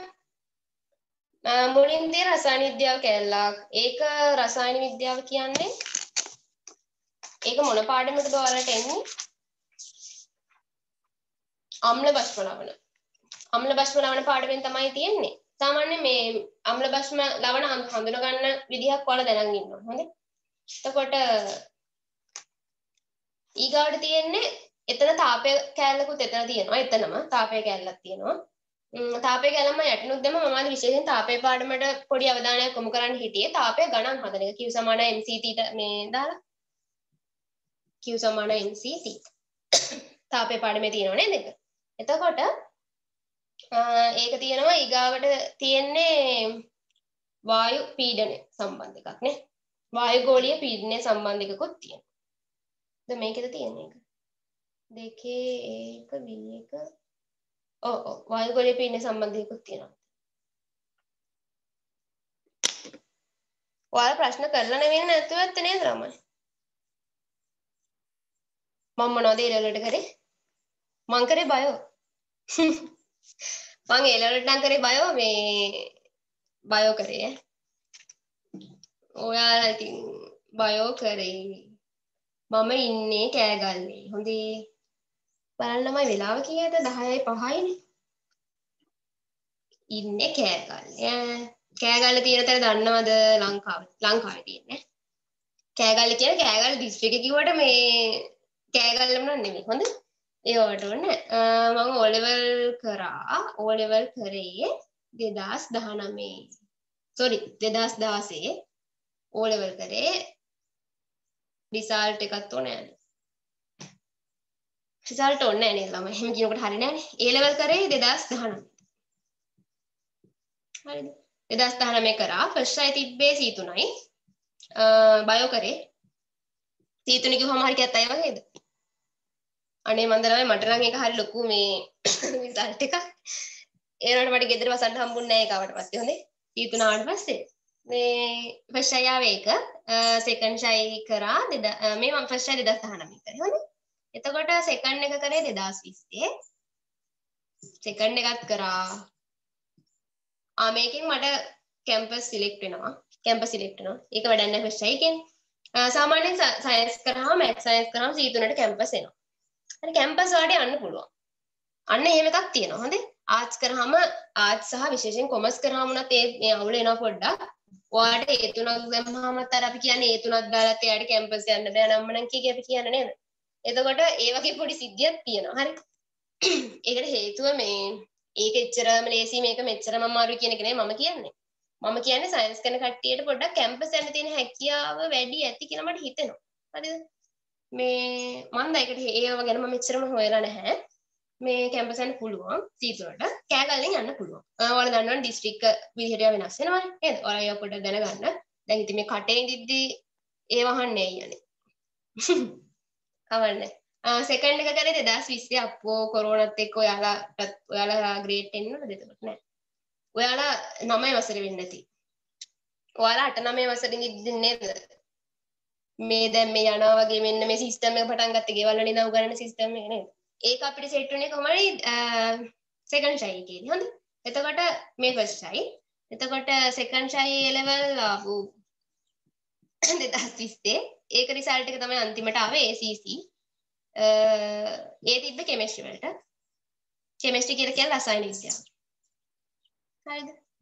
දෙකකටම තිබ්බ එකම රිසල්ට් එක තමයි විශේෂයෙන් ජීව විද්‍යාවට එකම රිසල්ට් එක එනවා කියන්නේ. පාර ගහලා යන්න වෙන්නේ නැහැ කියන එක. හරි ජීව විද්‍යාව කියන්නේ මේ ඔයාලට තියෙන එකම තමයි තියෙන්නේ. ඒක ඉතින් පාඩම් කරන්න තියෙන්නේ.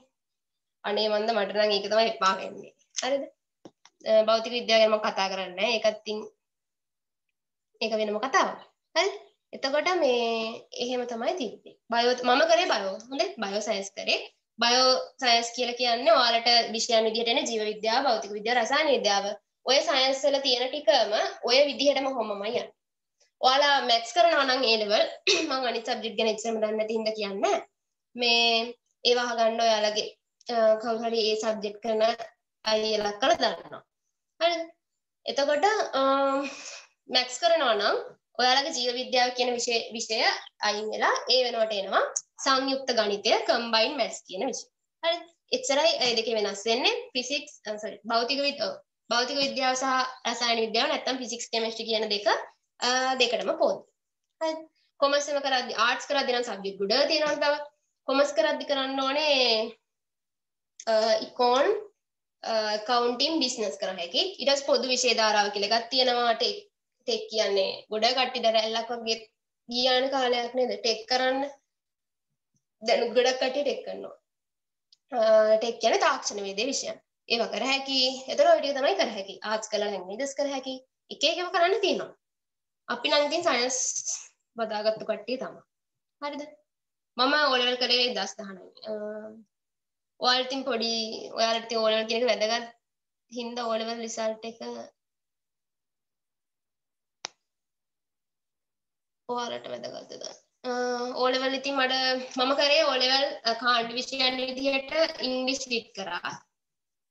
ඉංග්‍රීසි සාහිත්‍ය කියන්නේ ඉංග්ලිෂ් ලිට් කරා. IT කරා. මම ඉංග්ලිෂ් මීඩියම් වලින් කරේ. IT කරා මොකද්ද කරේ? කොමර්ස් කරා. කොමර්ස් කරා. කොමර්ස් කරා. ඔය ටික තමයි කරේ. මම ඉංග්ලිෂ් මීඩියම් වලින් කරේ ඕ ලෙවල් ඒ ලෙවල් කරේ සිංහල මීඩියම් වලින්. හරි? ඒකටත් එක එක හේතු තියෙනවා මේ එහෙම ආල කවුරු හරි ඒ ලෙවලුත් ඇයි ඉංග්‍රීසි මීඩියම් වලින් කරන්න බැයිද කියලා කවුරු හරි අහනවා නම් ඒව මගෙන් පස්සේ අහන්න. මේ මැසේජ් එකක් දාලා. ඒව ඒව ඕල වලින් පස්සේ අහනවා නම් මම වඩා කැමති හොඳේ. මොකද මේ ඕන ඉස්සෙල්ලා ඕල කරන්න එපා. එහෙම තමයි මම. හරි. ඊගාවට ප්‍රශ්නයට යන්න අපි. කතා කරා ඉතින් නේද අහපුල මේවත් අහගෙන ඉන්නවද දන්නේ මම දන්නවනේ ඔය ඉන්න කට්ටියගේ හැටි අපිත් සෙකන්ඩ් ශෛලිකම 2030ම අපි කරේ ඔන්ලයින් විතරයි වගේ. ඔයාලා වගේ තමයි අපිත් ඒ ලෙවල් කරන්නේ. එතකොට අහලා තියෙන්නේ අපි දෙක නැතුව අපි රසායන විද්‍යාව ටිකක් තියෙන එකට යන්න. ටිකක් වෙනස් එකක් කරමු. දැන් ජීව විද්‍යාව එකක් කරුණා.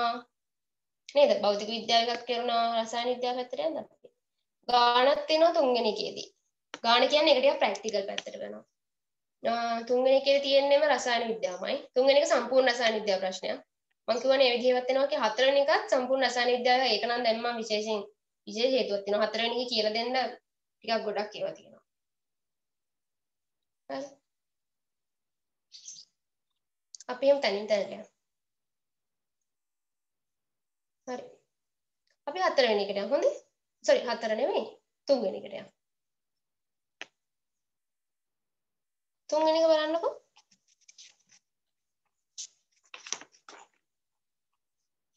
තුන්වෙනි එක.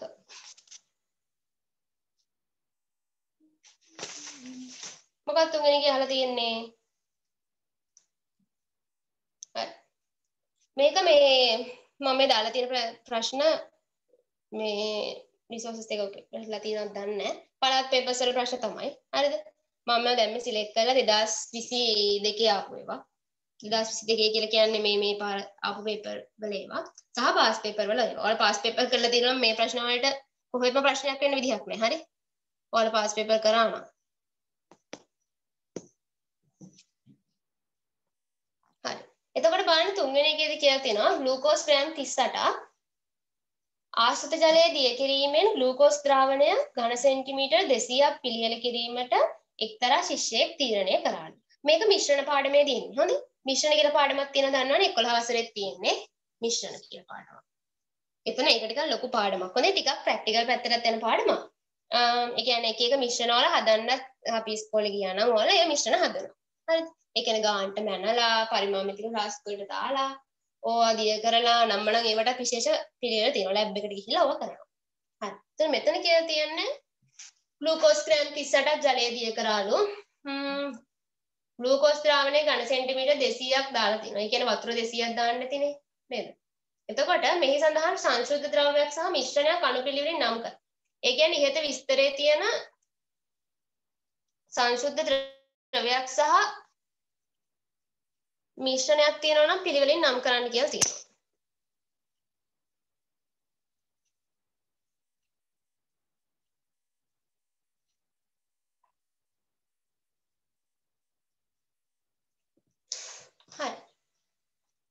ග්ලූකෝස් බලන්න සංශුද්ධ ද්‍රවයක් සංශුද්ධ ද්‍රව්‍යයක් සංශුද්ධ ද්‍රව්‍යයක් බලන්න මෙතන සංශුද්ධයි කියලා කියන්නේ වෙන කිසිම ද්‍රාවකයක් මිශ්‍ර වෙන්න බෑ කියන එක. හරි. එතකොට ඒ කියන්නේ ඒකට එන්නේ ආශ්‍රිත ජලය. හරිද? එතකොට ඒ කියන්නේ වෙන කිසිම අපද්‍රව්‍යයක් මොකක්වත් තියෙන්න බෑ. ඒක තමයි ආශ්‍රිත ජලය කියන එකෙන් අදහස් කරලා තියෙන්නේ. අනෙක් සියලු අපද්‍රව්‍ය අයින් කරා කියන එක. හරි. එතකොට ඊගාවට අහනවා මිශ්‍රණයක් අනුපිළිවෙලින් නම් කරන්න කියලා. මිශ්‍රණයක් මොකද්ද මිශ්‍රණය? මෙතන තියෙනවා ග්ලූකෝස් තියෙනවා ග්ලූකෝස් ග්‍රෑම් 38ක් තියෙනවා දිය කරන්න කලින්. ආශ්‍රිත ජලය තියෙනවා දිය කරාට පස්සේ තියෙනවා ග්ලූකෝස් ද්‍රාවණය. එතකොට මෙතන මිශ්‍රණය වෙන්නේ ග්ලූකෝස් ද්‍රාවණය. මොනවද මිශ්‍ර කරලා තියෙන්නේ? ග්ලූකෝස් තමයි ද්‍රාවකය වෙන්නේ. දන්නවද? ද්‍රාවකය කියලා එකක් තියෙනවා. ද්‍රාව්‍ය කියලා එකක් තියෙනවා ද්‍රාවණය කියලා එකක් තියෙනවා මිශ්‍රණ පාඩමේ තියෙන ද්‍රාවකය කියලා කියන්නේ ඔතන ඔය උදාහරණ විදිහට ගත්ත ද්‍රාවකය කියලා කියන්නේ ග්ලූකෝස් කියන එක. ද්‍රාව්‍ය වෙන්නේ ජලය. ජලය නෙමෙයි ආශ්‍රිත ජලය. ද්‍රාවණය වෙන්නේ ග්ලූකෝස් ද්‍රාවණය. ඒක තමයි මිශ්‍රණයේදී මිශ්‍රණ පාඩමේදී ඔක තියෙන්නේ. හරිද ද්‍රාවකයේ ද්‍රාව්‍ය සහ ද්‍රාවණය මොකක්ද කියලා ඔයාලට අඳුර ගන්න පුළුවන් වෙන්න ඕනේ. එතකොට බලන්න මේකේ ගානට අයින් තව තව තියෙන ප්‍රශ්න ටිකක් තියෙනවා. බලන්න දෙවෙනි එකේ හදන ග්ලූකෝස් ග්‍රෑම් එකක් යම් ජාල පරිමාවක දමා මුළු මුලින්ම දිය කිරීමෙන් සෑදූ ද්‍රාවණය කවර ආකාරයේ ද්‍රාවණයක්ද? ඒ කියන්නේ දැන් අනිවාර්යෙන් මිශ්‍රණයක් කියලා අපි දන්නවනේ නේද? මොන ආකාරයෙන් ද්‍රාවණයක්ද කියලා අහලා තියෙනවා. මොන වගේ මිශ්‍රණයක්ද? ඔයාලට මිශ්‍රණ පාඩමේ මතක සමජාතීය විෂම ජාතීය කියලා ඒවා තියෙනවා. නේද? මේ මිශ්‍රණය ගත්තාම සමජාතීය මිශ්‍රණයක් මතක නැත්තම් බලන්න 11 පාඩ මේ 11 ශ්‍රේණියේ තමයි මේක තියෙන්නේ ග්‍රේඩ් ලෙවල් වල තියෙන්නේ ග්‍රේඩ් 11 වල මිශ්‍රණ කියලා පාඩමක් තියෙනවානේ. ඒක තුන්වෙනි පාඩම පළවෙනි පොතේ. හරි 29 පිටුවෙන් ඉඳන් පටන් ගන්න. හොඳේ. එතකොට බලන්න ඒකේ තියෙන සමජාතීය මිශ්‍රණ සහ විෂමජාතීය මිශ්‍රණ කියලා ಜಾති දෙකක් තියෙනවා. හරි. සමජාතීය මිශ්‍රණ කියලා කියන්නේ සාමාන්‍ය මිශ්‍රණය පුරා එකම සංයුතියක් සහිත මිශ්‍රණ තියෙනවා. එකම සංයුතියක් කියලා කියන ළමයි දැන් සාමාන්‍ය ලුණු ටිකක් දිය කරාම එහෙම නැත්නම් සීනි ටිකක් දිය කරාම වගේ හොඳටම දිය වෙනවා. ඒ කියන්නේ හැමතැනම මේ ද්‍රාවණය ගත්තාම ඝනත්වය හැමතැනම එකයි. එකයි කියන්නේ එක තැනක සීනි ටිකක් වැඩිපුර දැන් සීනි ටිකක් වතුර දිය කරාම එක තැනක සීනි වැඩිපුරයි තව තැනක සීනි අඩු වෙනවා තියෙනවා. එහෙම වෙන්නේ නැහැ නේ. පිස්සුවන්නේ එහෙම කිව්වොත්. හරිද? එතකොට ඒ විදිහට සම්පූර්ණයෙන් මේක හොඳට දිය වෙනවා. ද්‍රාවණය ගත්තාම සමජාතීය මිශ්‍රණ වල මේ ද්‍රාවණය ගත්තොත් හැමතැනම ඒකාකාරයි. හරිද? ඒ කියන්නේ අපිට මේ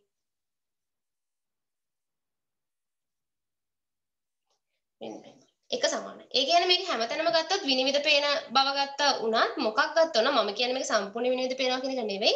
මිශ්‍රණය හැමතැනම එක වගේ. එක වගේ. එක එක තැන්වල එක එක විදිහ නෑ කියන එක තමයි කෙටියෙන්ම කිව්ව සමජාතීය මිශ්‍රණයක් කියලා කියන්නේ. දැන් මෙතන මිශ්‍රණය ගත්තාම නම් සමජාතීය මිශ්‍රණ. විෂම ජාතීය මිශ්‍රණ ගත්තාම මේ මේක මේ ඝන ද්‍රව මිශ්‍රණ විතරක් නෙමෙයි තියෙන්නේ. ඝන ඝන මිශ්‍රණ හිටන් තියෙනවා. මැටි දිය කරපු ජලය ඔයාලට දීලා තියෙනවා. රෙදි වලට දමන නිල් කුඩු දිය කළ ජලය කියලා. හරි. එතකොට ඔයාලා නිල් කුඩු දැන් නම් නිල් කුඩු වැඩි පාවිච්චි කරන්නේ නැහැ නිල් වතුරනේ පාවිච්චි කරන්නේ. මැටි දිය කරපුව මේ ජලය බලන්න. අනිවාර්යෙන් අඩියේ එකක් අඩියේ මේ මැටි කියන ඒවා තැම්පත් වෙනවා. අනිත් එක හැම මේකේ ඒකාකාර ද්‍රාවණයක් නම් ලැබෙන්නේ. තනින් තන මැටි අංශ විසිරලා තියෙන්නේ විවිධ විෂම විදිහට. විෂම විදිහට කියන්නේ වෙනස් විදිහට කියන්නේ. ඒතකොට ඒක තමයි විෂම ජාතිය මිශ්‍රණයක් කියන්නේ. ඔයාලා සමජාතිය මිශ්‍රණ විෂම ජාතිය මිශ්‍රණ වල උදාහරණ හඳුන ගන්නවට වඩා තමයි දැනගන්න ඕනේ මේක සමජාතිය එකක්ද මේක මේ විෂම ජාතිය එකක්ද කියලා මොකක් හරි උදාහරණයක් දුන්නාම ඒක දැනගන්න ඕනේ. හරිද? එතකොට ඊගාවකේ බලන්න. එතකොට ඒකට උත්තරේ එන්නේ සමජාතිය මිශ්‍රණයක් කියන එක. ඝන ද්‍රව සමජාතිය මිශ්‍රණයක් කියලා කියනවනම් වඩා හොඳයි. එතකොට ඊගාවක බලන්න තුන්වෙනි එකේ අහනවා ග්ලූකෝස් ග්‍රෑම් 30ක් පමණ දිය කර අවසන් වූ පසු තවදුරටත් ග්ලූකෝස් දිය නොවන බව නිරීක්ෂණය කරන ලදී. එවිට එම ද්‍රාවණය කවර ආකාරයේ ද්‍රාවණය? ඔයාලම දන්නවද? දැකලා තියෙනවද? ග්ලූකෝස් නෙවෙයි.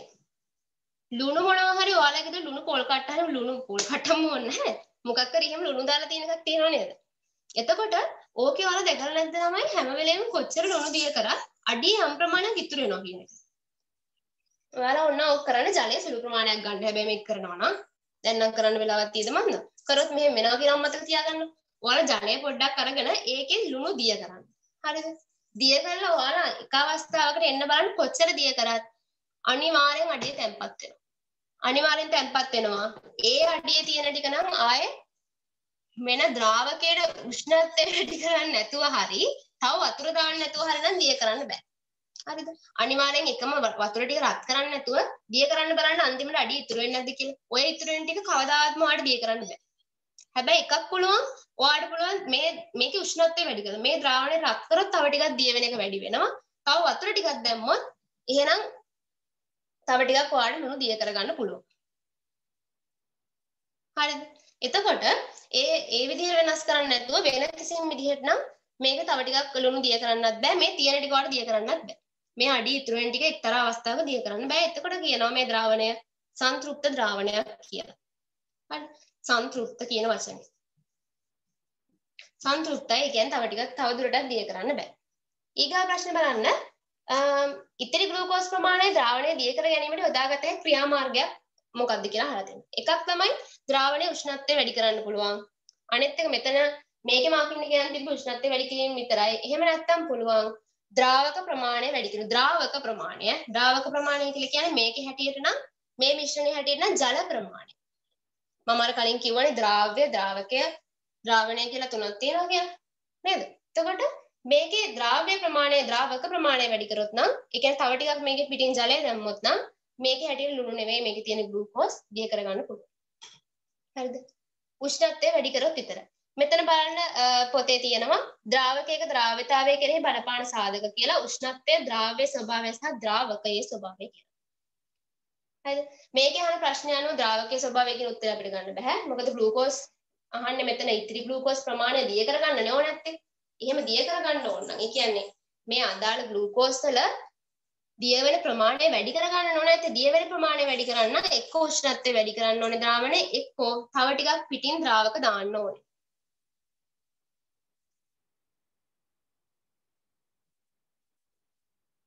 ඊගාට පස්වෙනි එකේ මුළු ද්‍රාව්‍ය ප්‍රමාණයම ද්‍රාවණය වීමෙන් පසු සැකසුණු ද්‍රාවණයක සාන්ද්‍රණය ගණනය කරන්න කියලා. බලමු. ඒක එකපාර ගාන අහලා තියෙන හැබැයි ගාන ටිකක් හදන්න ඕනේ. මොකද දත්ත දීලා තියෙන තැනින් තැන එකයි. හරි. පස්වෙනි එක බලන්න. පස්වෙනි ගාන බලන්න මොනවද දීලා තියෙන දත්ත කියලා උඩින්. මොකද්ද මෙතන වෙලා තියෙන්නේ කියලා?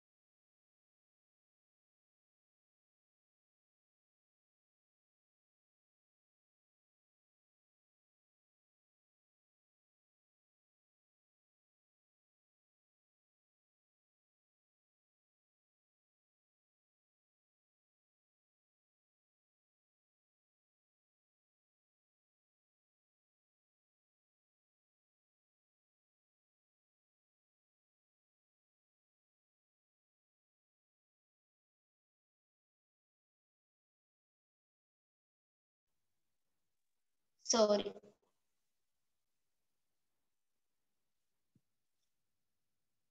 Thank you.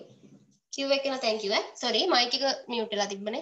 මගේ අතින් මම මොකක් හරි කරනකොට මේ වෙලා.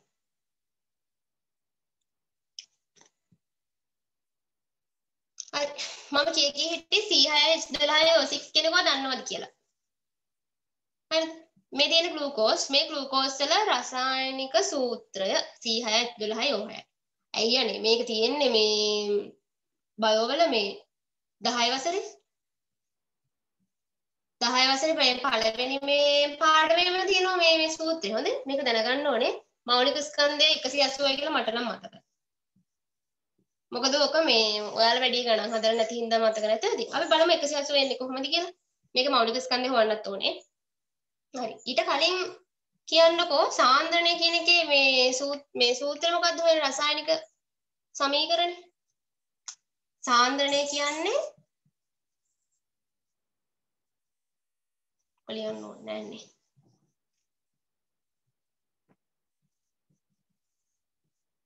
n බෙදීම v සාන්ද්‍රණය සමානයි මවුල ගණන බෙදීම පරිමාව කියලා තියෙනවා. හරි.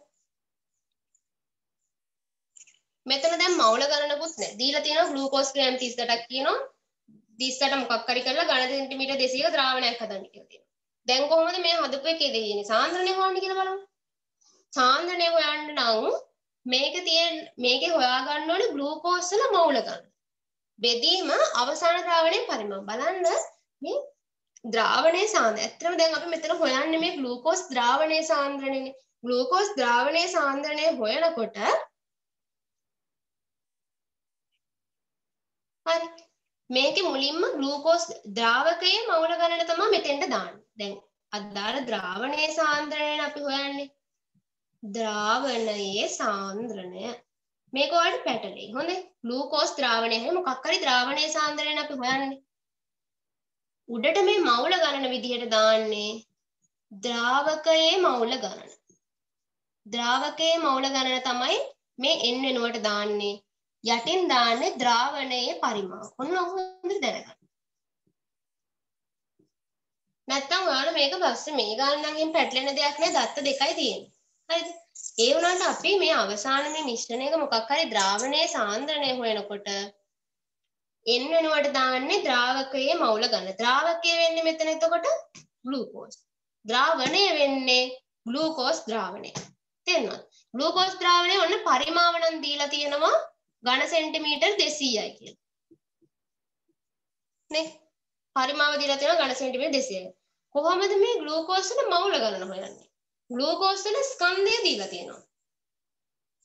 ස්කන්ධය දීලා තියෙනවා මවුල ගණන හොයන්න ඕනේ. මතක තියාගන්න මවුල ගණන හොයන්න මෞලික ස්කන්ධය තියෙනවා. තේරුණාද?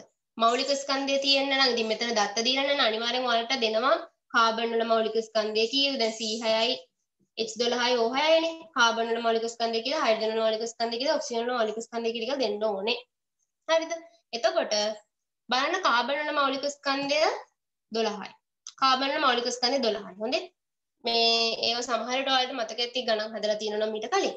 එතකොට බලන්න කොහොමද දැන් මේ මේ ද්‍රාවකයේ මවුල ගණන හොයන්න නම් දන්නවද මවුල ගන්න සමානයි ස්කන්ධය බෙදීම මෞලික ස්කන්ධය.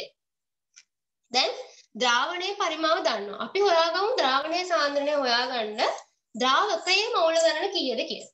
ද්‍රාවකයේ මවුල ගණන හොයන්නේ මෙන්න මේ සමීකරණ මෙන්න මේ සූත්‍රය. දැන්ට අපි දන්නවා ග්ලූකෝස් ද්‍රාවණයේ ද්‍රාවකයේ ස්කන්ධය දන්නවා. මෞලික ස්කන්ධය අපිට හොයා ගන්න පුළුවන්. එහෙම කරාට පස්සේ අපිට හොයන්න පුළුවන් මේ ග්ලූකෝස් ග්ලූකෝස් ද්‍රාවකයේ මවුල ගන්න. ග්ලූකෝස් මවුල ගන්න හොයන්න පුළුවන්. මවුල ගන්න ඕන මෙතෙන්ට ආදේශ කරනවා. ද්‍රාවණයේ පරිමාව මෙතෙන්ට ආදේශ කරනවා. සුළු කරාට පස්සේ සාන්ද්‍රණය වෙනවා. ඕල හැදුවේ නැත්නම් උත්සාහ කරලා බලන්න. උත්සාහ කරලා බලන්න මම විනාඩියක් දෙන්න. 10 27. try කරලා බලන්න එක.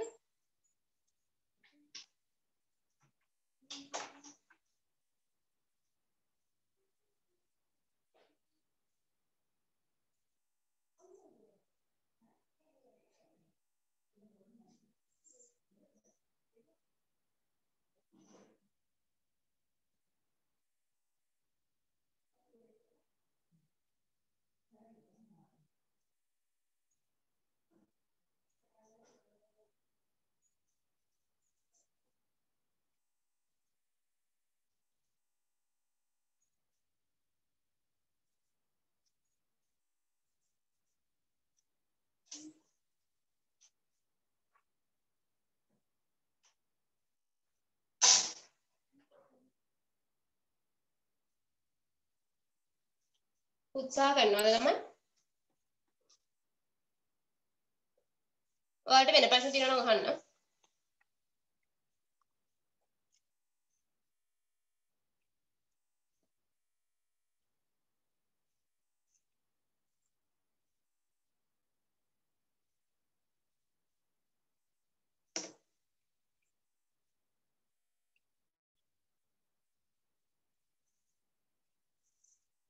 මෞලික ස්කන්ධය කොහොමද හොයන්නේ? 12 වරක් 6 ගන්න ඕනේ. ඇයි මේ කාබන් 6ක් තියෙනවනේ. කාබන් වල මෞලික ස්කන්ධය 12යි. ඒ වගේ කාබන් 6ක් තියෙනවා. ඊගාට හයිඩ්‍රජන් වල මෞලික ස්කන්ධය 1යි. ඒ වගේ 12ක් තියෙනවා. ඔක්සිජන් වල මෞලික ස්කන්ධය ඔක්සිජන් වල කීයද ළමයි? මට ඔක්සිජන් වල අමතක වෙන්නේ නැහැ 16 නේද?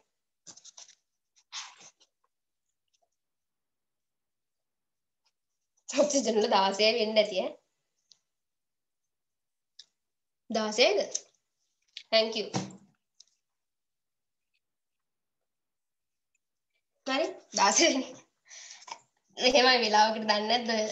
අපි වෙලාවට කියන්නේ ෂෝට් වෙනවා කියලා. ඔයාලට එහෙම නැද්ද? එකපාරට නිකන් මොංගල්තාවයටපත් 12 තරක් අය. 12 තරක් අය කීයද? 72යි නේද? එකතු කරලා බලන්න. 72යි 12යි හටවරක් වෙන 40ට මෙතන 96 වෙන්න ඕනේ. 96 මං හිතන්නේ. මේ ටික එකතු කරාම 180ක් වෙනවා. 6යි 10න් බිඳුව එකක් ඉතුරු 7 8 9 9 9 18යි 180 වෙනව නේද? රයිට් 180 වෙනවා. එතකොට ඒ 180 මෙතෙන්ට ආදේශ කරලා හරිද 38 දීලා තියෙනවා. සුළු කිරිල්ලක් එනවා. සුළු කරගන්න ඕනි. 38 බෙදීම 180ක් කියලා එන්නේ. 38යි මෙතන ඒකක දාන්න මතක තියාගන්න ඔයාලා මේ වගේ ලොකු ගාණක් හදට හදද්දී අනිවාර්යෙන් පියවර ලියලිය හදන්න ඕනේ. තේරුණාද? ඔයාලගේ පොතේ බලන්න ඒ වගේ මේ මිශ්‍රණ මේ මේ මේ වගේ ගණන් හදලා දීලා තියෙනවා. විශේෂයෙන් මේ ග්ලූකෝස් පාවිච්චි කරලා ඕන තරම් ගණන් උදාහරණ විදියට හදලා දීලා තියෙනවා. ඒ වගේ තැන්වල බලන්න යන පියවර ලියලා තියෙන විදිය ලස්සන විදියට. හරිද? මොකද ඔයාලට මේ රචනා වලට මතක තියාගන්න ලකුණු 20ක් ලැබෙනවා. තේරුණාද? එතකොට ලකුණු 20ක් දෙන්නත් මොනවා හරි පොයින්ට් තියෙන්න බෑ. නේද? දැන් මේ ගණන ටිකක් ලොකු වැඩි කියමුකෝ. හරිද? එතකොට ඔයා මේව ලියන ලියන ඒවායේ මේ ඒවයි වාක්‍ය ලියලිය හදන්න ඕනේ. තේරුණාද? එතකොට දැන් මුලින්ම ලියන්නේ මොකක්ද දැන් අපි මේ ගානේ? හ්ම්? ග්ලූකෝස් ද්‍රාවණයේ සාන්ද්‍රණය මේක ලියාගෙන බෑ. මුලින්ම යන්න මොකද්ද මුලින්ම ලියන්නේ? මොකද්ද බන් දීලා තියෙන්නේ?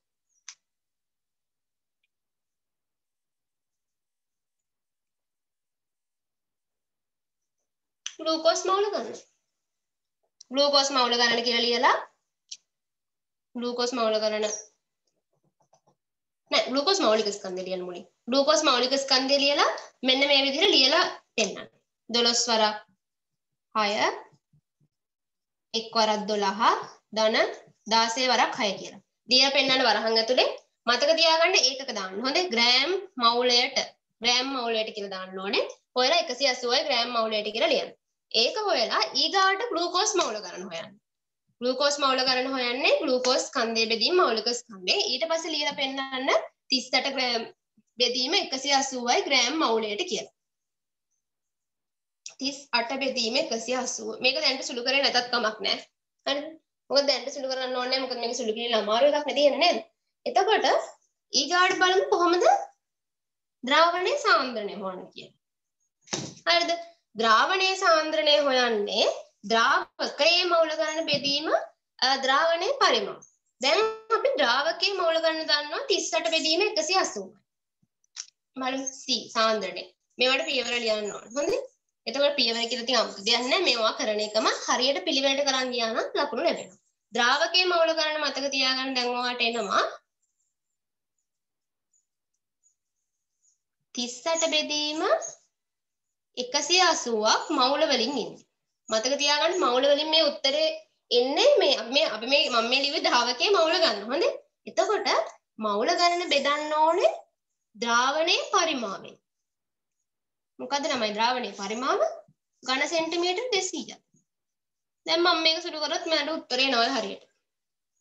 මම ඔයාලට කලිනුත් කිව්වා මේවා SI ඒකක වලින් ලියන්න ඕනේ. සෙන් ඝන සෙන්ටිමීටර් කියන්නේ SI ඒකකයක්ද? නෑනේ. ඝන මීටර තමයි ඒකේ SI එකේ. දැන් මෙතන තියෙන ලොකුම වැඩේ හැටියට මම දකින්නේ ඔයාලට O level ළමයට මේ ඝන සෙන්ටිමීටර කියන එක මේ සෝරි ඝන සෙන්ටිමීටර 200 කියන එක ඝන මීටර වලට හරවන්න. කොහොමද දැන් ඝන සෙන්ටිමීටර 200 ඝන මීටර වලට හරවන්නේ? හ්ම්?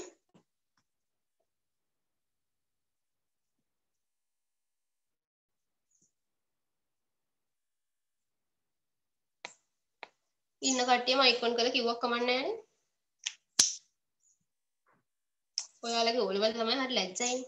අපි A level කාලේ නම් හිම නෑ දැන්. මම ගත්තාම මම නම් ඔය මේ ඉස්සර අපි කෙමිස්ට්‍රි එකක් ඔන්ලයින් කරා කෙමිස්ට්‍රි ක්ලාස් එක මම තර්ඩ් සයි එකේදී ඒ ටීචර් ඔන්ලයින් කරේ හරිද? ඒ ටීචර් මම දැකලා නැහැ කොහොම හරි මේ ඔය කොරෝනා කාලේ 2020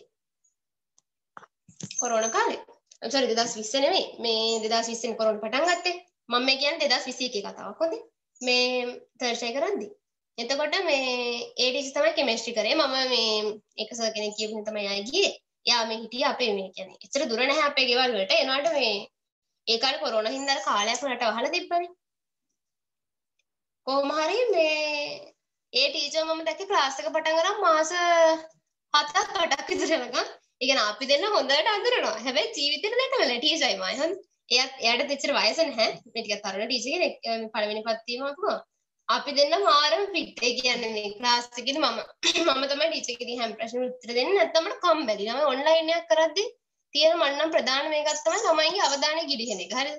දැන් මෙතනදිද්දි නම් අපි මොකක් හරි ටීචර් පුළුවන් ගහලා හරි ටොක්කක් කරන්න හරි මේ පැත්තට හැරෙන්න කියලා හරි මොකක් හරි කරලා දැන් ඔන්ලයින් වල එහෙම බෑනේ නේද? එතකොට මට නම් ඇත්තටම කියවන්න නැතුව ඉන්න බැරි තරම් පන්තිය මොකද මට කම්මැලි එකක් මේ අනික මම කියවන්න අවස්ථාවක් ලැබුණොත් ආයෙ කියවන්න නැතුව ඉන්නේ නැහැ. මොකද නැත්තම් එපා වෙනවා බෝරින්. හරිද? අපිට කියන්නේ එපා වෙනවා කියන එක. අන්න ඒක. හරිද? එතකොට මේ මම කොහොමරි මේ ඒ ඊට පස්සේ තමයි ටීචර් දැක්කේ. දැක්ක වුණත් මට නම් ගානකුත් නැහැ. මේ අපි දෙන්නේ යාළුවෝ දෙන්නෙක් වගේ තමයි මේ ක්ලාස් එකේ හිටියේ. මම තව ළමයි හිටියා. ළමයි 10ක් 15කුත් හිටියේ ක්ලාස් එකේදී. හැබැයි මේ අන්තිමට මට මට පස්සේ කාලෙක ඒ පන්ති හිටපු ළමයි ටික ටික හම්බ වෙනවා. හැබැයි හැම කෙනාම දන්නේ මම අර ටීචර් ක්ලාස් එකේදී හැම වෙලේම කියෝන එක්කෙනා කියෝන අක්කා කියලා තමයි දන්නේ. දැන් කී කී හිටියේ මෙතන සාන්ද්‍රණය හොයන්නේ කොහොමද කියලා ආයෙ ගන්නට එන්නකෝ. මෙතන මේ ඝන සෙන්ටිමීටර් 200 කියන එක අපිට දැන් ඝන මීටර වලට හරවන්න ඕනේ. බලමු මේක කරන්නේ කොහොමද කියලා.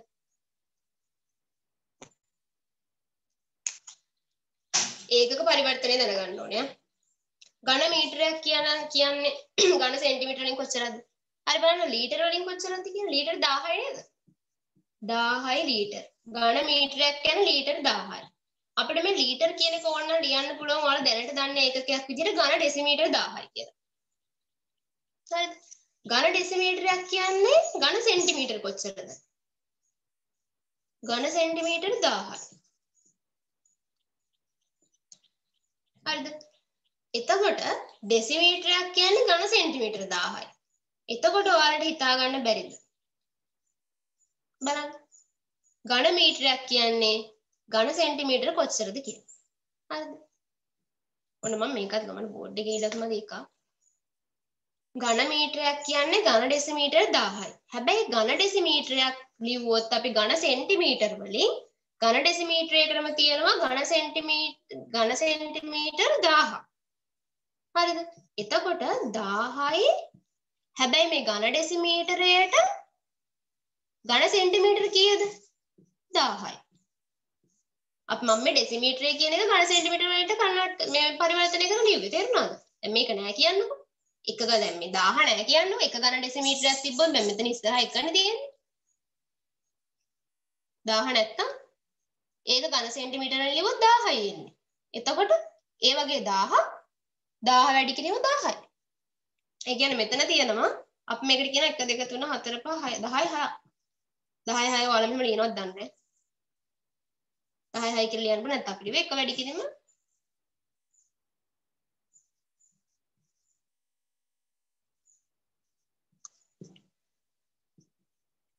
ඔක ඝන මීටරයක් කියන්නේ ඝන සෙන්ටිමීටර වලින් මෙච්චර. එතකොට බලන්න ඝන සෙන්ටිමීටර 200 කොහොමද ඝන මීටර කරන්න කියලා.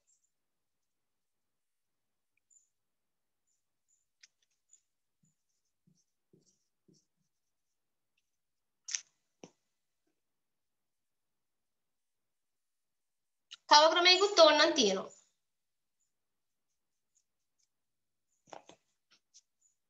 මේ පරිවර්තනය කරන එක හරියට කරගත්තද ළමයි? මට පොඩ්ඩක් ඔව් නම් ඔව් කියලා නෑ නෑ නෑ කියන්න. ඔය ඉන්න කට්ටිය. මොකද ඔයාලා මේ ක්‍රමයෙන් ඉගෙන ගන්නවද නැත්නම් කලින් වෙන ක්‍රමයකින් ඉගෙන ගන්න තියෙන්නේ මේ පරිවර්තනය ඒකක පරිවර්තනය ඕකට එන උත්තරේ මම කියන්නම්.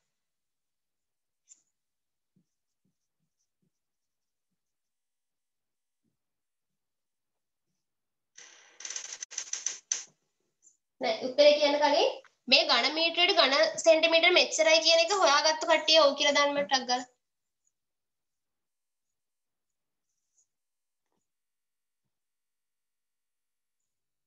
මේක හොයාගත්තද නැත්නම් මේක හොයාගන්න අමාරුද? ආයෙත් දන්නේ නැහැ.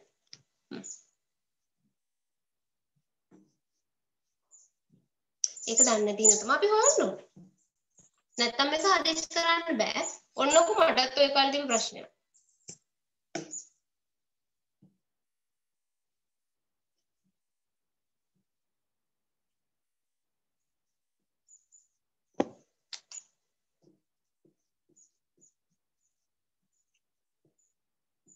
මේක පරිවර්තනය කරන්න ඕනේ ඝන මීටර වලට.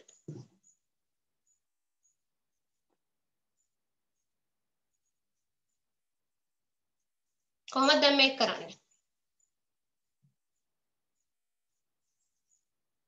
මම බැලුවා ඔයාලට මේ කියලා දෙන ලේසි ක්‍රමයක්.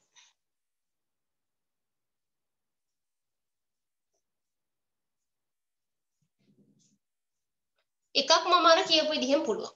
හරිද? ඒ කියන්නේ ඝන මීටරයට තියෙන ඝන සෙන්ටිමීටර ගාන හොයාගෙන ඒක සමානුපාතික කරලා කරන්නත් පුළුවන්. එකක් ඒ විදිහට කරොත්. එහෙම නැත්නම් ඔයාලට ලේසියෙන් මේ විදිහට කරන්න. හරිද? එතකොට දැන් බලන්න මෙතන මේ මෙතන තියෙන මීටර මෙතන තියෙන සෙන්ටිමීටර. මට කියන්නකෝ මීටරයට සෙන්ටිමීටර කීයද එක මීටරයක් ගත්තොත් ඒකට සෙන්ටිමීටර 100යි ඒක ඕන එක්කෙනෙක් දන්නවනේ. ඒ කියන්නේ මේ එක මීටරයක් නිරූපණය කරන්න සෙන්ටිමීටර 100ක් තමයි පාවිච්චි කරන්නේ. එතකොට දැන් සෙන්ටිමීටර එකකට මීටර කීයද? සෙන්ටිමීටර් එකකට මීටර් එකයට 100යි. එකයට 100 නැත්නම් 10 2යි. නේද? එතකොට දැන් මේ මේ 200යි ඝන සෙන්ටිමීටර් කියන එකේ මේ සෙන්ටි කියන එක අයින් කරගන්න ඕනේ නැත්තේ. ඒක වෙනුවට මීටර් කියන එකයි දාගන්න ඕනේ. හැබැයි අපි දන්නවා 1 සෙන්ටිමීටර් කියන එක මීටර් එකයට එකයට 100යි කියලා. දැන් මේක ඝන හැබැයි ඈ මතක තියාගන්න මේක ඝනයි. දැන් කොහොමද 200 කියන එකේ මෙන්න මේ 200 කියන එක කොහොමද තිබිය දෙන්නකො මේකේ ඝන සෙන්ටිමීටර් කියන එකේ මේ සෙන්ටි කෑල්ල අයින් කරගන්න. මතක තියාගන්න මේක ඝනයක්. මේ ඝනය කොහොම මේක මේ සෙන්ටි කියන එකයි මීටර කියන එකයි දෙකටම අයිති වෙනවා. 200 මෙහෙම තියෙනවා. සෙන්ටි වෙනුවට අපි දානවා 1යට 100. හැබැයි මේක ඝනයක්. මතක තියාගන්න ඝනයක්.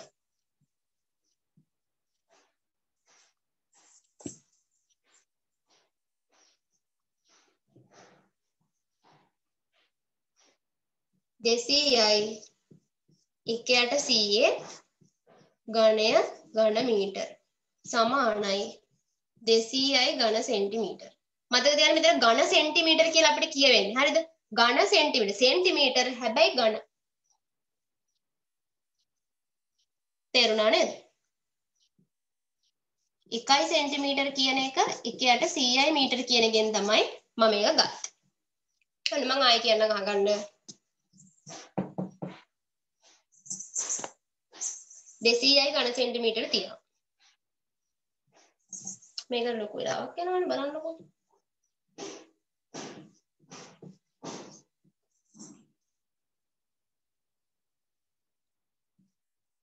මීටර එකක් කියලා කියන්නේ සෙන්ටිමීටර් 100ක්.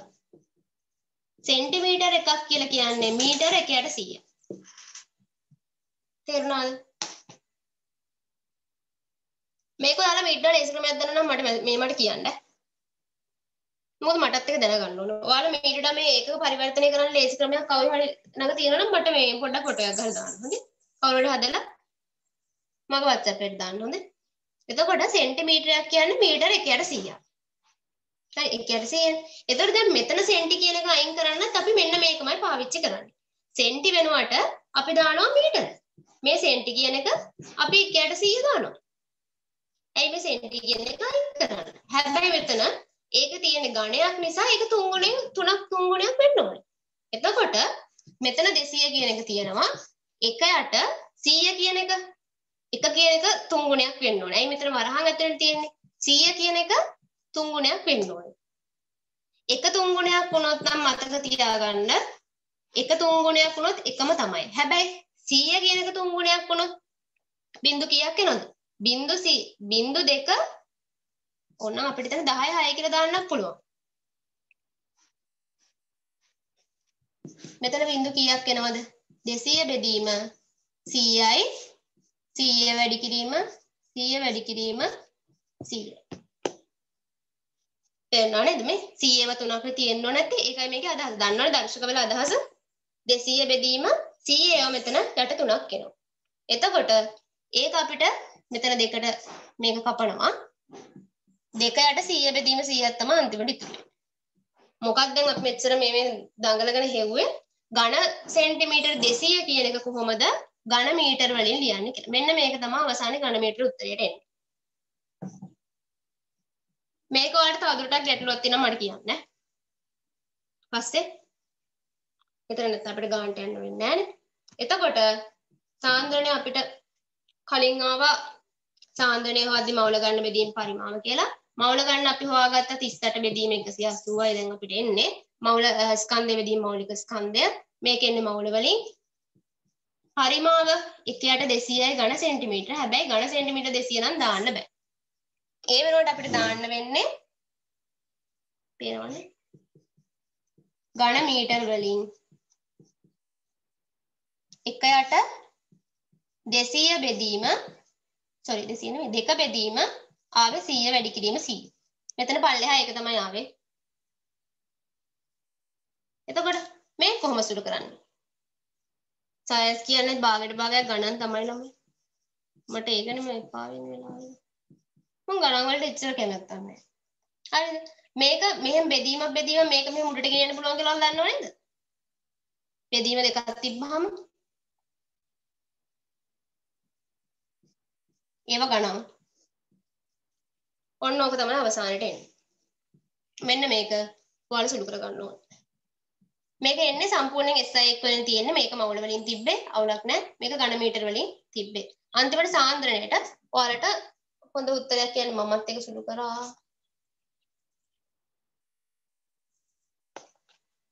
කපලා දාමු.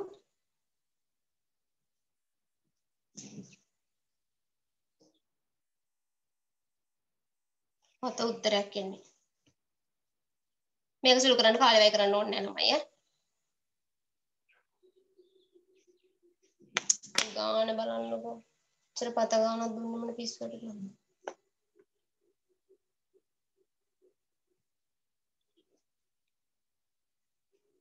ළමයි ඔය ඉන්න කට්ටිය එකෙන් මේ මොකක් හරි ප්‍රශ්නයක් තිබ්බම මට අනිවාර්යෙන් අහන්න හොඳේ. තේරුණාද? මෙච්චර මේ පත සුළු කිරීම නම් මම නම් බලාපොරොත්තු වෙන්නේ නැහැ කියලා. මම මේක දැම්ම විශේෂයෙන්ම ඔයාලට මේ මිශ්‍රණ මිශ්‍ර කිරීම සම්බන්ධව පාස් පේපර් වල අවස්ථා කීපයකදී ඇවිල්ලා තිබ්බා. හරිද? ඒ කියන්නේ මේ මිශ්‍රණයක් අරගෙන ඒ ද්‍රාවණයක් හදන්න කොහොමද කියලා මේ ඒ ඇසුරින් ගණනයක් කිරීම දැන් ඔයාලා දන්නවනේ මොකක් හරි මිශ්‍රණයක් අපි හදද්දී ඒකට අදාළ දැන් හිතන්නකෝ අපිට දෙන්නේ සාන්ද්‍රණය ඇසුරින්. අපිට කියනවා මේ ලැබ් එකේදී 2.5යි මේ බලන්නකෝ ඔයාලා අච්චුපතේ තියෙනවා ඒවා 2.5යි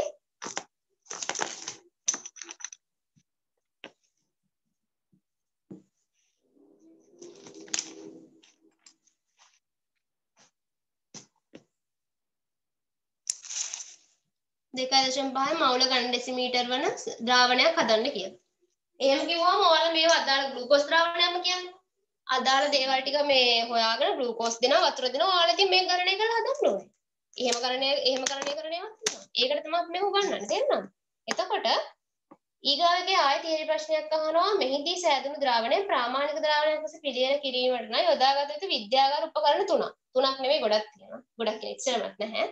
බලන්න අනිවාර්යෙන් පරිමාමිතික ප්ලාස්ටිකුවක් ඕනේ. පරිමාමිතික ප්ලාස්ටිකුව කියලා කියන්නේ මෙන්න මෙහෙම දිග ඔන්න ඔය වගේ එකක්. මේකේ ඇබ්බයක් තියෙනවා. හරි. සාමාන්‍ය මේ හැරෙට විතර මේ මාක් එකක් දාලා තියෙනවා 250 හරි මොකක් හරි ඒකේ අදාළ එක. මේ වගේ ගත්තාම පරිමාමිතික ප්ලාස්ටිකුව කියන්නේ. මෙතන වීදුරු තනිකර මේක වීදුරුනේ හදලා තියෙනවා. හරි. එතකොට ඊගාට දෙවුම් බෝතලේ කියලා මතකද?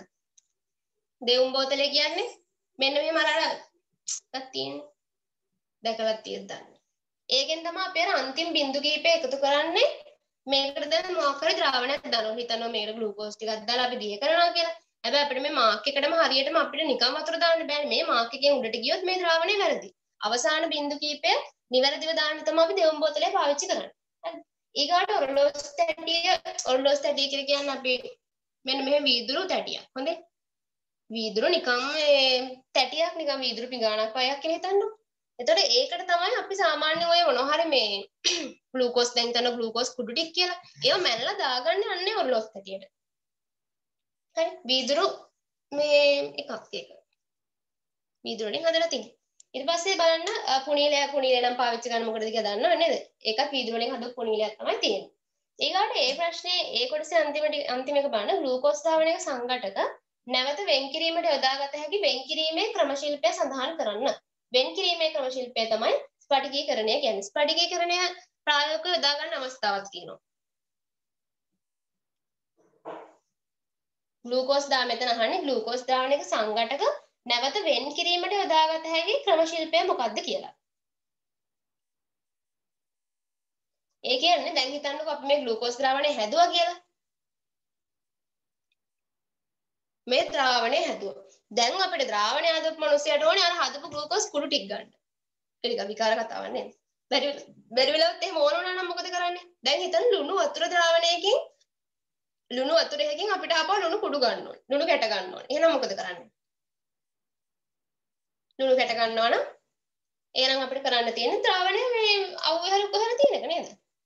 ඒ කියන්නේ ස්පටිකීකරණය. අර ජලය ටික වේලෙන්න අරින එක. අපි ඒකට කියනවා ස්පටිකීකරණය. ස්පටිකීකරණය කියන්නේ ස්පටික සෑදීමට ඉඩ දීම කියන්නේ නේ. එතකොට ඒ ක්‍රමයට කියන නම තමයි ඒ. ස්පටිකීකරණය. ඊගාට බලනවා B කොටස කියව ගන්න. B කොටසේ තියෙන්නේ එතන තියෙන්නේ Q සමාන mc ට දාන්න ඕනේ තාපය සම්බන්ධ ගාණය. ගාණක් තියෙනවා. බලන්න එතන තියෙනවා අර මේ ශක්ති සටහනකුත් තියෙනවානේ. ඒව අඳින්න නම් මන් දන්නේ හැබැයි ඔයාලා ඒවා කොටස්සෙම දැනගන්න ඕනේ. ශක්ති සටහන තාපය පාඩමේ තියෙන 11යි.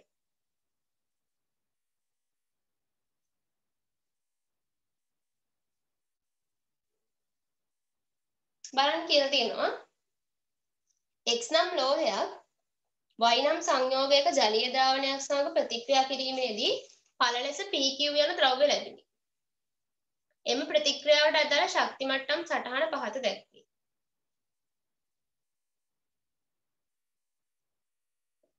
බලන්න පළවෙනි එක.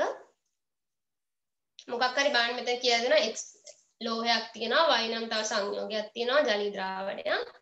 ප්‍රතික්‍රියා කිරීමේදී ඵල විදිහට ලැබුණා PQ කියන ද්‍රව්‍ය. මොකක් හරි ප්‍රතික්‍රියාවක් නිකන්. හරි. ඊට පස්සේ තාප ශක්තියේ විපර්යාසයේ ස්වභාවය අනුව x සහ y අතර සිදුවී ඇත්තේ කවර ප්‍රතික්‍රියාවද බලන්න දැන් ශක්ති සටහන දිහා පොඩ්ඩක් බලන්න.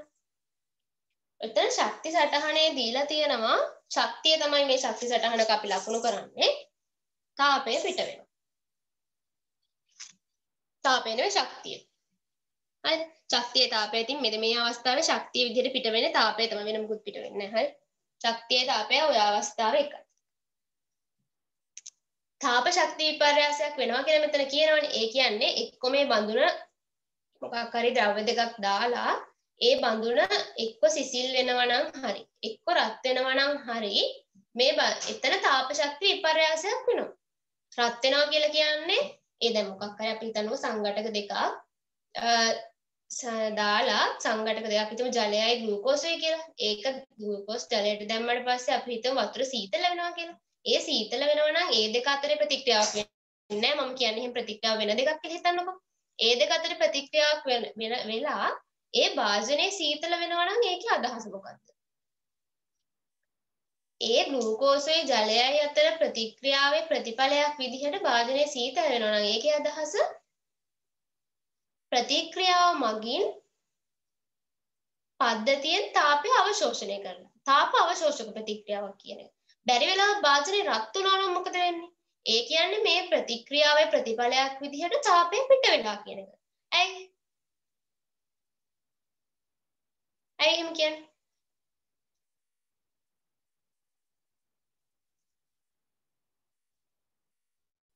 කල්පනා කර බලන්න පොඩ්ඩක් එක. පද්ධතිය සීතල වුණා නම් මොකද වෙන්නේ? පද්ධතිය රත් වෙනවා නම් මොකද වෙන්නේ?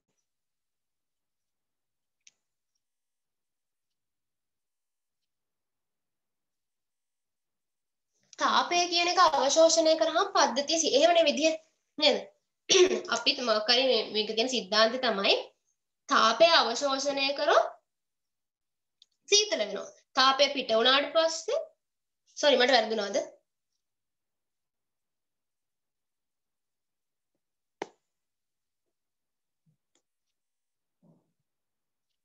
මට ඔක පොඩ්ඩක් පැටලෙන ගතියක් තියෙනවා මට වැරදුනා. තාපදායක ප්‍රතික්‍රියා ගුඩ් හරි. උත්තරේ දීලා තියෙනවා. තාපදායක ප්‍රතික්‍රියා. එන ටික දන්නවනේ. හරි. තාපදායක ප්‍රතික්‍රියා තමයි උත්තරේ ශක්තිය පිටවීම. හරි. මට අතන වැරදුනාද කියලා මම කල්පනා කරේ. සූම් කරනකොට ළමයි තනියෙන් කියෝ කියෝ ඉන්නකොට එකපාරට නිකන් මේ ඇයි කියන්නවත් කෙනෙක් නැහැ. මන්ද මට නම් එහෙමයි. මම සාමාන්‍ය ලයිව් විතරයි කරන්නේ මේ ලයිව් කියන්නේ. ෆිසිකල් විතරයි මම නම් කරන්න කැමතිත්. ඔය සන්තාරියට වගේ නම් ඔය මේ සූම් ලයිව් මේ ඔන්ලයින් පන්ති කරන හොඳට පුරුදුයි. එයාට ඔන්ලයින් සී. හරි. තාපදායක ප්‍රතික්‍රියාව මෙතන වෙන්නේ. හරිද? ශක්තිය පිට වෙනවා තාපය පිට වෙනවා. ඒ කියන්නේ තාපදායක ප්‍රතික්‍රියාව. වෙරි ගුඩ් උත්තර දීපු එක්කෙනා ඉතා හොඳයි. එතකොට තුන්වෙනි එකේදී බලන්න. සෝරි දෙවෙනි එකේදී අහනවා මෙව ප්‍රතික්‍රියා සිදුවීමේදී මිශ්‍රණයේ උෂ්ණත්වය කෙබඳු වෙනසකට ලක් වේද? උෂ්ණත්වය වැඩි වෙනවා.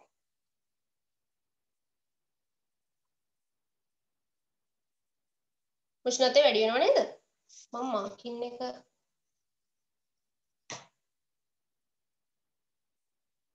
ඊගාට බලන්න තුන්වෙනි එක තුන්වෙනි එකේදී x සහ p සඳහා ගැලපෙන ස්ථාන ශක්ති මට්ටම් සටහනේ දක්වා ඇති 1 2 3 4 ස්ථාන වලින් තෝරා දක්වන්න. ශක්ති මට්ටම් සටහනක් අඳිනකොට බලන්නකො ඉතින්. ශක්ති මට්ටම් සටහනක් අඳිනකොට මට්ටම් දෙකක් තියෙනවා. එක මට්ටමක තියෙන ප්‍රතික්‍රියක අනෙක් මට්ටමේ තියෙන ප්‍රතිඵල. තේරුණාද? එතකොට අනිවාර්යෙන් මේ මොකක් හරි ඊතලයේ තියෙනව නේද? මේ මේක අඳිනකොට පොඩ්ඩක් අඳිනවා නම් පොඩ්ඩක් බලන්න මෙතන තියෙන විදිහ. ඊතලයේ ඇඳලා තියෙනවා උඩ ඉඳන් පල්ලෙහාට. අනිවාර්යෙන් මේ ඊතලයේ උඩ ඉඳන් පල්ලෙහාට ඇඳලා තියෙන්නේ. අනිවාර්යෙන් මේ ඊතලයේ ඇඳ වෙන ළමයි ප්‍රතික්‍රියක ඉඳන් ප්‍රතිඵල දිහාට. ප්‍රතික්‍රියක ඉඳන් ප්‍රතිඵල දිහාට තමයි මේ ඊතලයේ ඇඳ වෙන්නේ. තේරුණාද? එතකොට එහෙනම් මේ 3 4 බලන්න 3 4 මොකද්ද වෙන්න ඕන නැත්තේ? මෙතන අහලා තියෙන මොකද්ද ප්‍රශ්නේ? XP සඳහා ගැලපෙන XP ප්‍රතික්‍රියාව මම ලියන්නම්. මෙතන වෙනවා කියලා ප්‍රතික්‍රියාව තමයි X උයි Y ප්‍රතික්‍රියා කරලා P Q උයි හැදෙනවා කියන එක. හරි. 3 4 තියෙනවා මෙතන. 1 2 තියෙනවා මෙතන. එතකොට අනිවාර්යෙන් 3 4 ඊතලයේ යන්නේ ප්‍රතික්‍රියක ඉඳන් ප්‍රතිඵල දිහාට. ඒක ඔයාලා දැනගන්න ඕනේ. තේරුණාද? එතකොට ප්‍රතික්‍රියක ඉඳන් ප්‍රතිඵල කරා අපි ළඟා වෙන මුලින් ප්‍රතිභාජනයේ ප්‍රතික්‍රියක ටික තියෙනවා. ඊගාට ප්‍රතිභාජනයේ ප්‍රතිඵල ටික තියෙනවා. මෙන්න මේ අතරේ තමයි ප්‍රතික්‍රියාව වෙන්නේ. ඒක තමයි මේ ශක්ති සටහනේ තේරුම. හරිද? එතකොට අහනවා x x සඳහා ගැලපෙන ස්ථානය මොකද්ද? x කියලා කියන්නේ මේ x. හරි? x කියලා කියන්නේ ප්‍රතික්‍රියකයක්. ප්‍රතික්‍රියක සඳහා ගැලපෙන ස්ථානය මොකද්ද? ස්ථාන මොකද්ද? ඇත්තටම ස්ථාන. එතකොට x කියන්නේ ප්‍රතික්‍රියකයක් නම් 3 4 කියන ස්ථාන දෙකම මේ x ට ගැලපෙනවා. 3 4.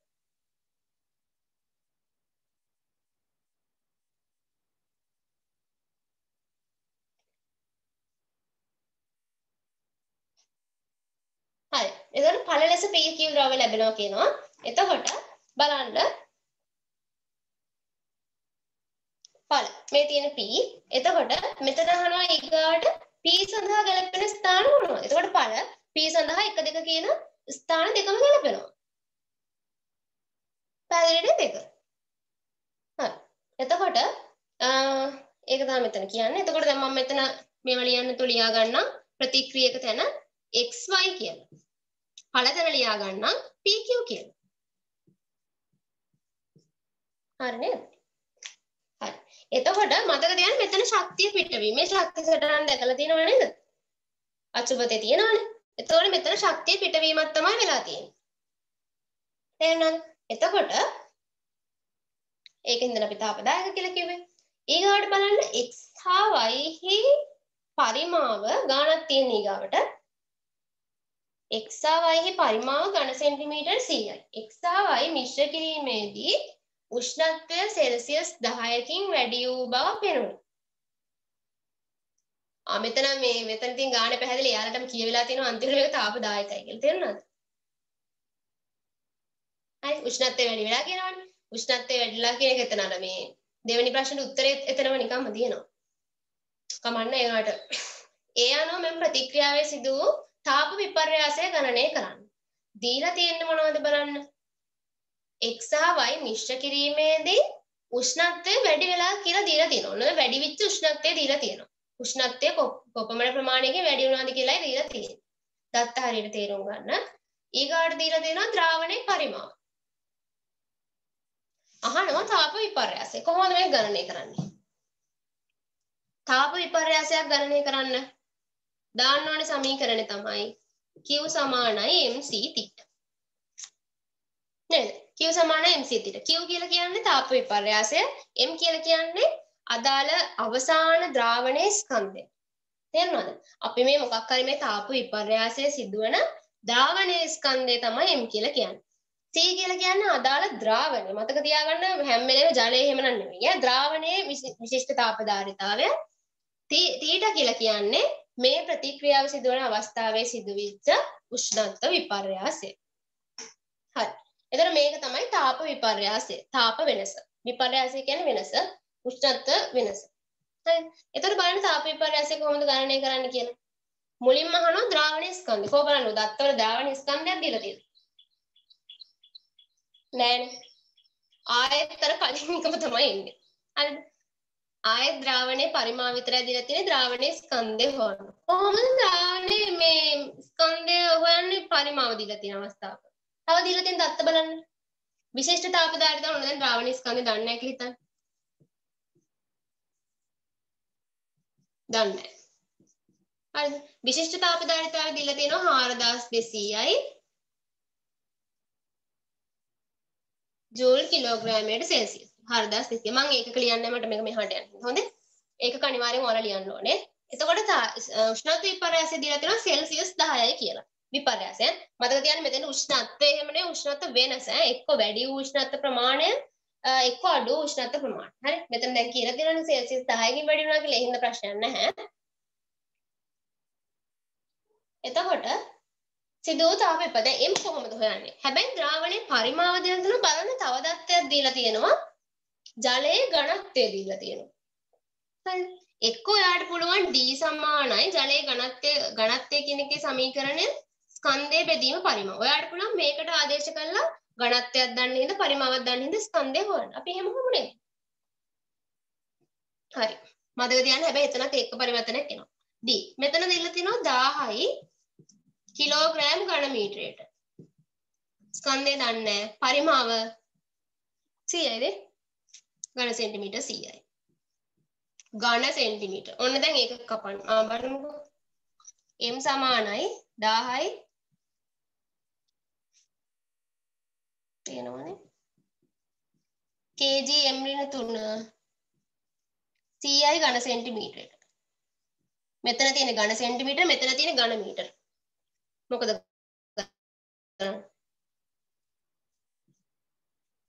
කන් ආය ඒකක පරිවර්තනයක් කරන්න 100ට මෙන්න කරන්න දෙන්න කලින් වගේම. 1000යි මෙතන 1000 තියෙනවා මේ විදිහට. 100යි මොකද කරන්නේ? ඝන සෙන්ටිමීටර්. ආයෙත් තියෙනවා ඝන සෙන්ටිමීටර්.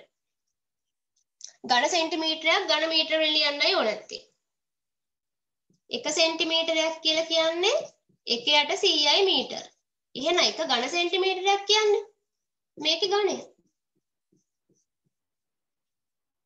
ඒ කියන්නේ 100 බෙදි 100 අපි කියමු.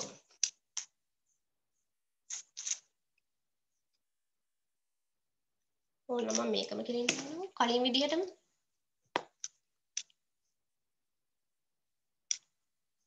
සීයයි. දැන් සෙන්ටිමීටර් කියන එක ඝන මීටර විදිහට තියන්න. අපි සෙන්ටි වෙනවට ආදේශ කරමු. කලින් වගේම 1යට 100 හැබැයි ඒකේ ගණනය 100 මෙහෙම තියෙනවා. සෙන්ටි වෙනවට ආදේශ කරා කලින් වගේම සෙන්ටි කියන එක මීටර් කරන්න සෙන්ටිමීටර කියන එක මීටර් කරන්න ආදේශ කරා. 1යට 100 ඒකේ ගණනය හැබැයි. දැන් මේක සිදු කරන්නයි තියෙන්නේ. එතකොට එනවා මේ අදාළ ද්‍රාවණයේ. 100 යන මෙතන නේද?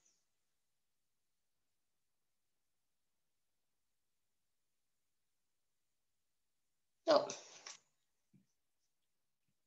බලන්න මොකක්ද දෙන්නේ කියලා. මට මෙතන ලියන්නත් බෑ. ආයතන ලියුවම ඔයාලට පේන්නේ නැහැ. කමන්න.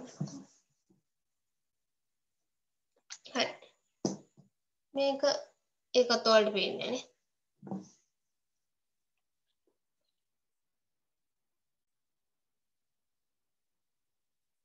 ඒක පරිවර්තනයක්ම ළමයි සෙට් වෙන්නේ m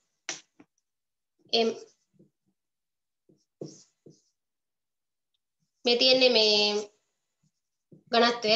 ඝනත්වය වැඩි කිරීම. දැන් පරිමාවනේ අපිට ඕන නැත්තේ ඝන සෙන්ටිමීටර් 100 නේ ඝන මීටර කරගන්න බැරි. 1000යි kg m ඍණ 3 100යි මෙතන සෙන්ටි තියෙන්නේ. ඒක මීටර කරගන්න ඕනේ. සෙන්ටි කියන එක මීටර කරගන්නම් මම කරන්නේ එකයට 100 මම කරන්නේ 100ෙන් බෙදන එක. 100 විතරක් බෙදලා මදි මෙතන තුනක් තියෙන හින්දා ඒක ගණය කරනවා. එතකොට උඩ එනවා මෙතන 1000ක් එනවා. මෙතන 100 එහෙමම තියෙනවා. යට 100 වැඩි කිරීම 100 වැඩි කිරීම 100 එකට මුකුත් වෙන්නේ නැහැ. එක හොම්ම තියෙනවා. එතන මේ ටික කපලා දාන්න. 10 දෙකට 10 දෙයක් කැපුණා. මේ සොයි බිංදු දෙකට බිංදු දෙකක් කැපුණා. මේ බිංදු දෙකට තව දෙකක් කපනවා මේ බිංදුවට තව එකක් කැපුවා. ඉතුරු වෙන්නේ 1ට 10යි ඒ කියන්නේ දශම 1යි උත්තරේ එන්නේ කිලෝග්‍රෑම් වලින් අපි දැන් මේ හෙව්වේ මොකද්ද? මේ අදාළ අවසාන ද්‍රාවණයේ ස්කන්ධය තමයි අපි දැන් මේ හෙව්වේ. ඇයි ඒ? ස්කන්ධය අපිට හොයලා මොකටද දාන්නේ? ස්කන්ධය හොයලා දාන්න ඕනේ නැත්නම් අර සමීකරණයට q සමාන mc θ වල m ට තමයි මේ දශමික කියන දාන්නේ. M දානවා. එතන දශමික දැම්ම m ට c කියන එක දන්නවා 4200යි ඊට පස්සේ හොයනවා එතන අපි දන්නවා θ කියන එක සෙල්සියස් 10යි කියලා. එතකොට ඒකක ලස්සනට කැපිලායි බය වෙන දෙයක් නෑ. ඒක කැපිලා යනවා. උත්තරේ එනවා 4200යි ජූල් කියලා සුළු කරලා බලන්න. ජූල් 4200ක් එනවා. මට දැන් මේක මොකක්ද දෙන්නේ යට වලට පේන්නේ. එහෙම නැත්නම් ඔයාලට ලියන්න පුළුවන් 4.2 කිලෝ ජූල් කියලා. ප්‍රශ්නයක් නැහැ. කැමති විදිහට. කැමති විදිහට ඔයාලට ගාන ගන්න පුළුවන්. ඒක පැටලවන්න කිලෝ වලින් ලියන පැටලෙනවා වගේ නම්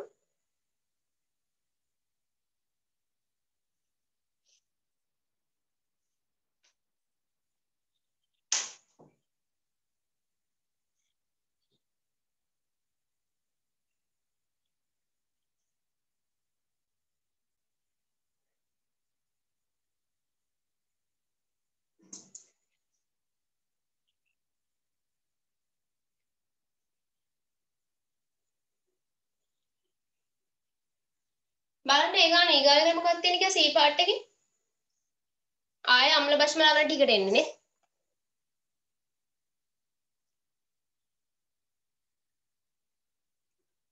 අම්ල බෂ්ම ලවණ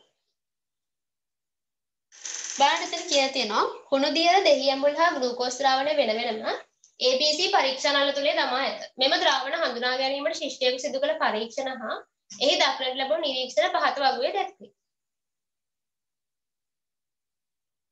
බලන්න පරීක්ෂණය.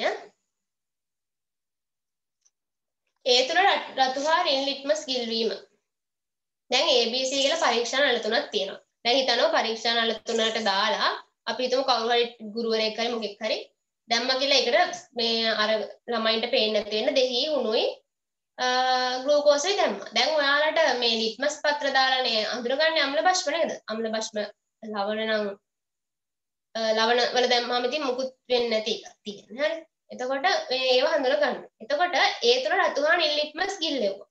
එතකොට මොකද වෙන්නේ? නිල් ලිට්මස් වී වර්ණ වෙනසක් වෙලා නැහැ රතු ලිට්මස් නිල් පැහැයට හැරෙනවා. ලිට්මස් පත්‍ර වලින් මොනවද ළමයි අපි ගන්නෙ?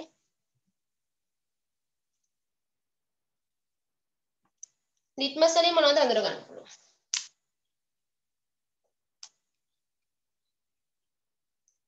රතු රතු නම් අම්ල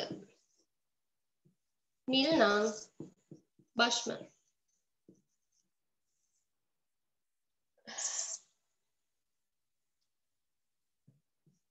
බ්ලූ කියන එක භෂ්ම කියලාවත් තමයි මතක තියාගන්න. නිල්.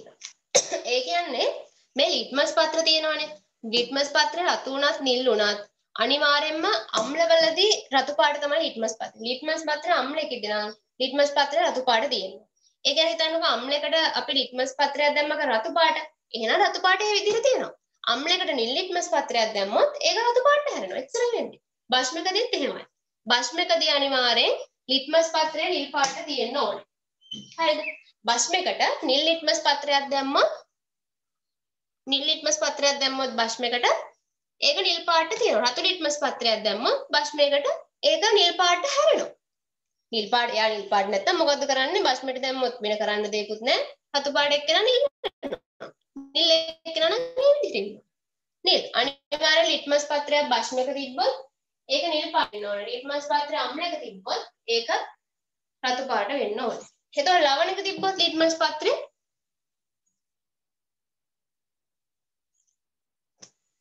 රතුයි ඩිනුයි දෙකම දාලා බලන ලවණයට වර්ණ වෙනසක් වෙන්නේ නැත්නම් අන්න ඒක තමයි ලවණය. හරි එකක් විතරක් දාලා අපිට කියන්න බෑ ඒක මේ වර්ණ වෙනස් වෙන්නේ නැත්නම් මේ දැන් හිතන්නකො නිල් ලිට්මස් එකක් ලවණයකට දැම්මහම වර්ණයක් වෙනස් වෙන්නේ නැහැ. එක්කෝ ඒක එහෙනම් භස්මයක් වෙන්නත් පුළුවන්.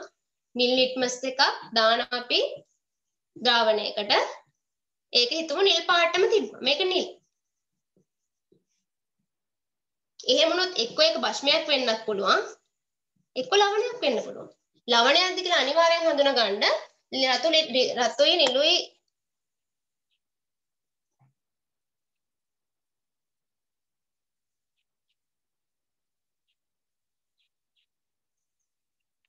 ඔයාගේ ඉවරවන්න දැම්ම.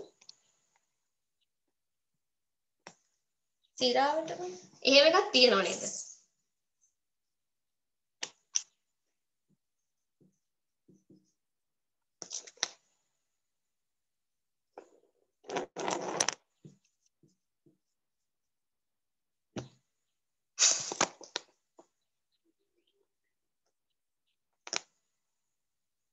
Thank you ඒක එවරුවන් දැක්කද මන් දන්නේ නැහැ. ඇත්තට ඔයාලා මේක දන්නවද නේද? අනිල බරණි කියන එක මට ඒක අමතක වුණා නවයි.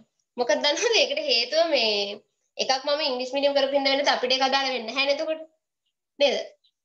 අම්ලයක දරන නිල් ලිට්මස් රතු වෙනවා බෂ්මයක දරන රතු ලිට්මස් නිල්. ප්‍රශ්නයක්ම නැහැ. අනිල බරණි. thank you මතක් කරාට. අපි මතක තියාගත්තේ අර විදිහට. ඇත්තටම මම ඒ ලෙවල් වලදී ඔත් ඒක නෑ ඒ ලෙවල් කියන්නේ මට මතකයි ඒක. ඒ කියන්නේ මේ අරකෙදි මේ පාටයි මේකෙදි මේ පාටයි කියලා ඒකයි මම කෙටි ක්‍රමේ පාවිච්චි කරේ නැත්තේ.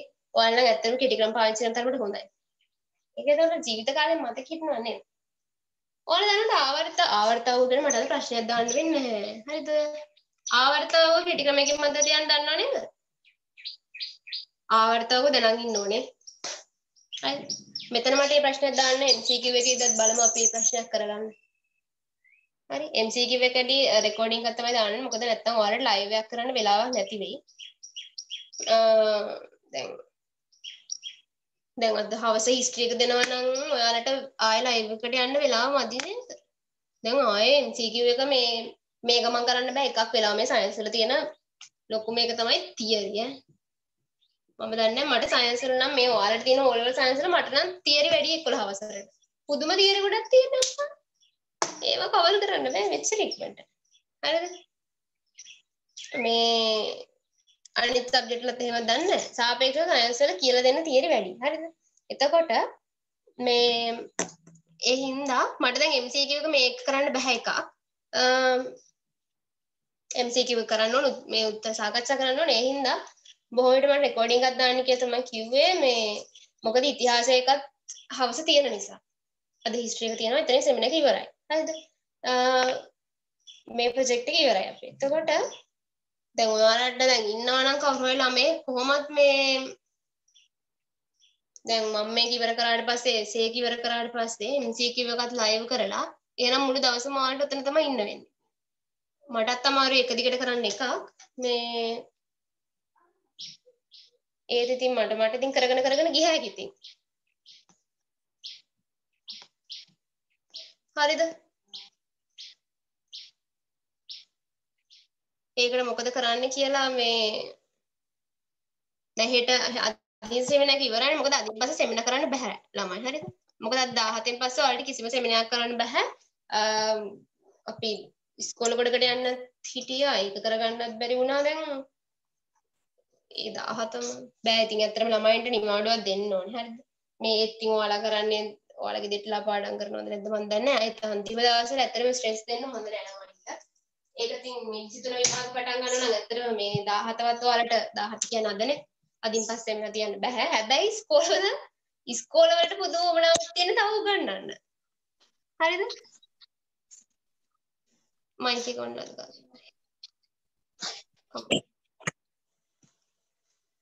හරිද ඉස්කෝලේට පුදුම උමනාවක් තියෙනවා ඔයාලට ගන්න. ඔයාලා ඉස්කෝලේ පැත්තේ ඉන්න තියෙන්නේ. ඒකට කමක් නැහැ. මේ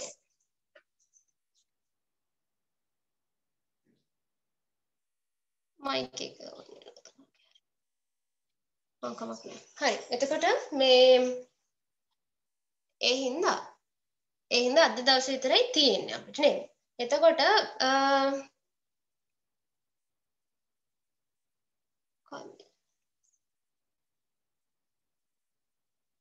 කවි සත්සර මට කියන්නකො මේ ඔයා දන්නවද කියලා ආවර්තාවග ඔයා කතා කරන ඉඳ මං කිව්වේ. ආවර්තාවග මතක තියන්න කෙටි ක්‍රමය දන්නවද ඔයාලා? දන්නව නේද? මම නම් ඕන වලින් තමයි දන්නේ. දන්නවනේ. ගැම්මක් තමයි නේද? දන්නවනම් එච්චරයි මේ ආවර්තාවග සම්බන්ධත් අනිවාර්යෙන් ප්‍රශ්නයක් එනවා හරිද? ආවර්තාවගෝ මේ කරගන්න බැන්න තවර්තාවග අනිවාර්යෙන් බලලා යන්න. ආවර්තාවගේ මූලද්‍රව්‍ය 20 තියෙනවා. දන්නව නේද? ආවර්තාවගෝ තියෙනවා. ඒකේ මූලද්‍රව්‍ය 20 තියෙනවා.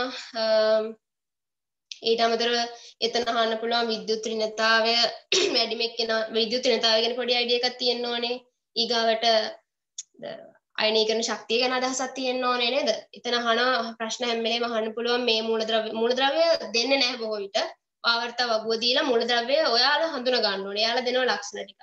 හරිද? ඔයාලා හඳුන ගන්න ඕනේ. එක්ක දෙනවා මේ අයනීකරණ ශක්තියට අදාළ ප්‍රස්ථාරය. ඒතර අයනීකරණ ශක්තියට අදාළ ප්‍රස්ථාර දුන්නාම ඒක දිහා බලාගෙන ඔයා ඒකේ ලකුණු කරලා තියෙනවා. දැන් අපි හිතමු මෙතන P කියලා ලකුණු කරලා තියෙනවා කියලා. මෙතන Q එහෙම ලකුණු කරලා තියෙනවා කියලා.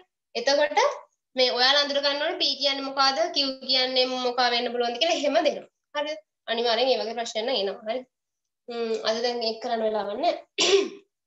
බලන්න මෙතන C එකේ කියලා තියෙනවා මේ එතන ඒකත් අම්ල භෂ්ම ලවණන්ට අදාළ ප්‍රශ්නයක් තමයි එතන දැම්මේ. මෙතන මේ જાතියෙන් මම තව ප්‍රශ්නයක් දැම්මේ. ඒකට හේතුව Q සමානයි NC θ කියන එක ඔයාලට තව ගාණක් හදන්න. හරිද? ඔයාලා හිතලා. මේ ඒ වගේම ගාණක් මම ආයෙත් තව තැනකදී දැම්මා. හරිද? Q සමාන NC θ දාන්න පුළුවන් ගාණක්. එතකොට මේ ඒක දැන් ආයෙ හැදුවොත් ඉතින් ඒක වෙලාවක් නැති වෙනවා. ඊගාවට තව බයෝ එකකුත් තියෙනවා. එහෙම වුණොත් මට ඒකට උත්තර තමයි දාන්න වෙන්නේ. මොකද මේ විද්‍යුත් රසායනික කෝෂය කරන්නත් ඕනේ.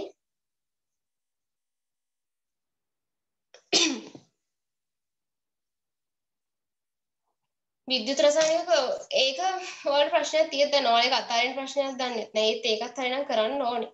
එහෙම වුණොත්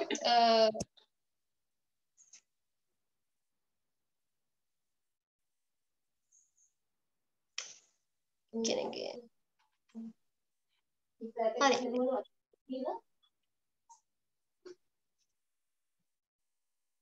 චමෝදි. බබෝ ඔයා මයික් එක ඔෆ් කරන්න පොඩ්ඩක්.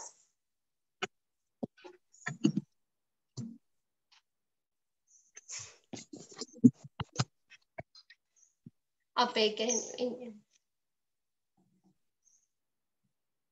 එයා ෆෝන් එක දාලා කොහේ හරි යන්නේ නැති හරි එතකොට මේ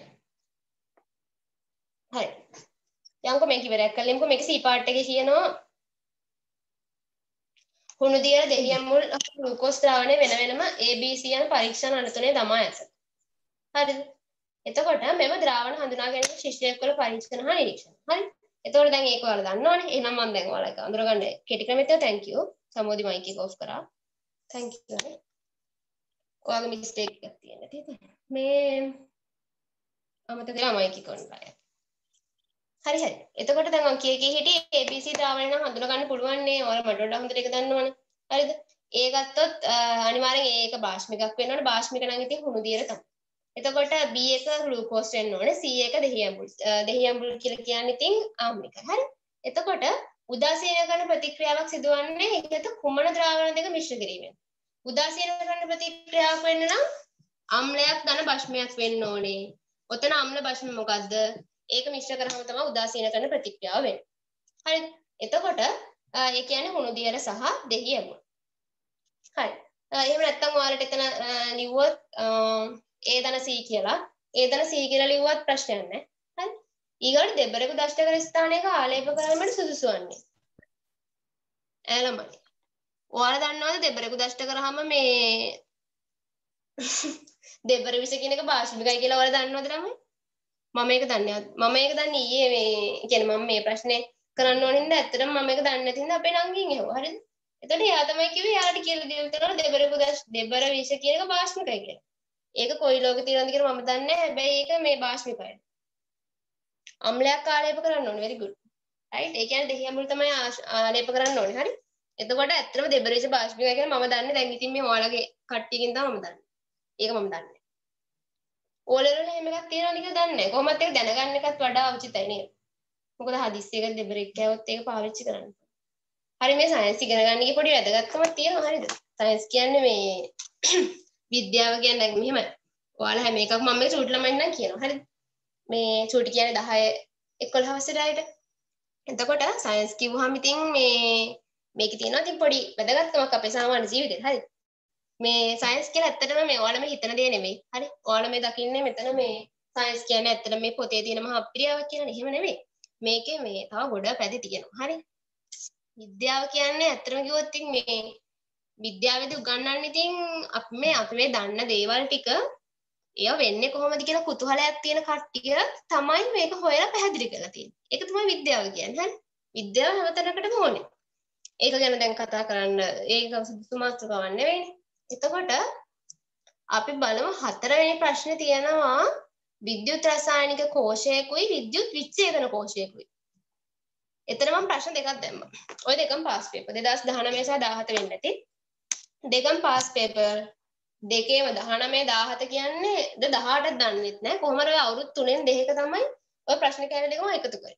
ඒ කියන්නේ අනිවාර්ය විද්‍යුත් රසායනික ඔය වගේ කෝෂ එනවා. ඌට වෙනස් විදිහට වෙන්න පුළුවන් අර ඔයාලගේ ප්‍රැක්ටිකල් එක ඇසුරින් එන්නත් පුළුවන්. අර ඇණයක් දාලා දන්නවනේ. ඒක මලකඩ කන සිද්ධිය.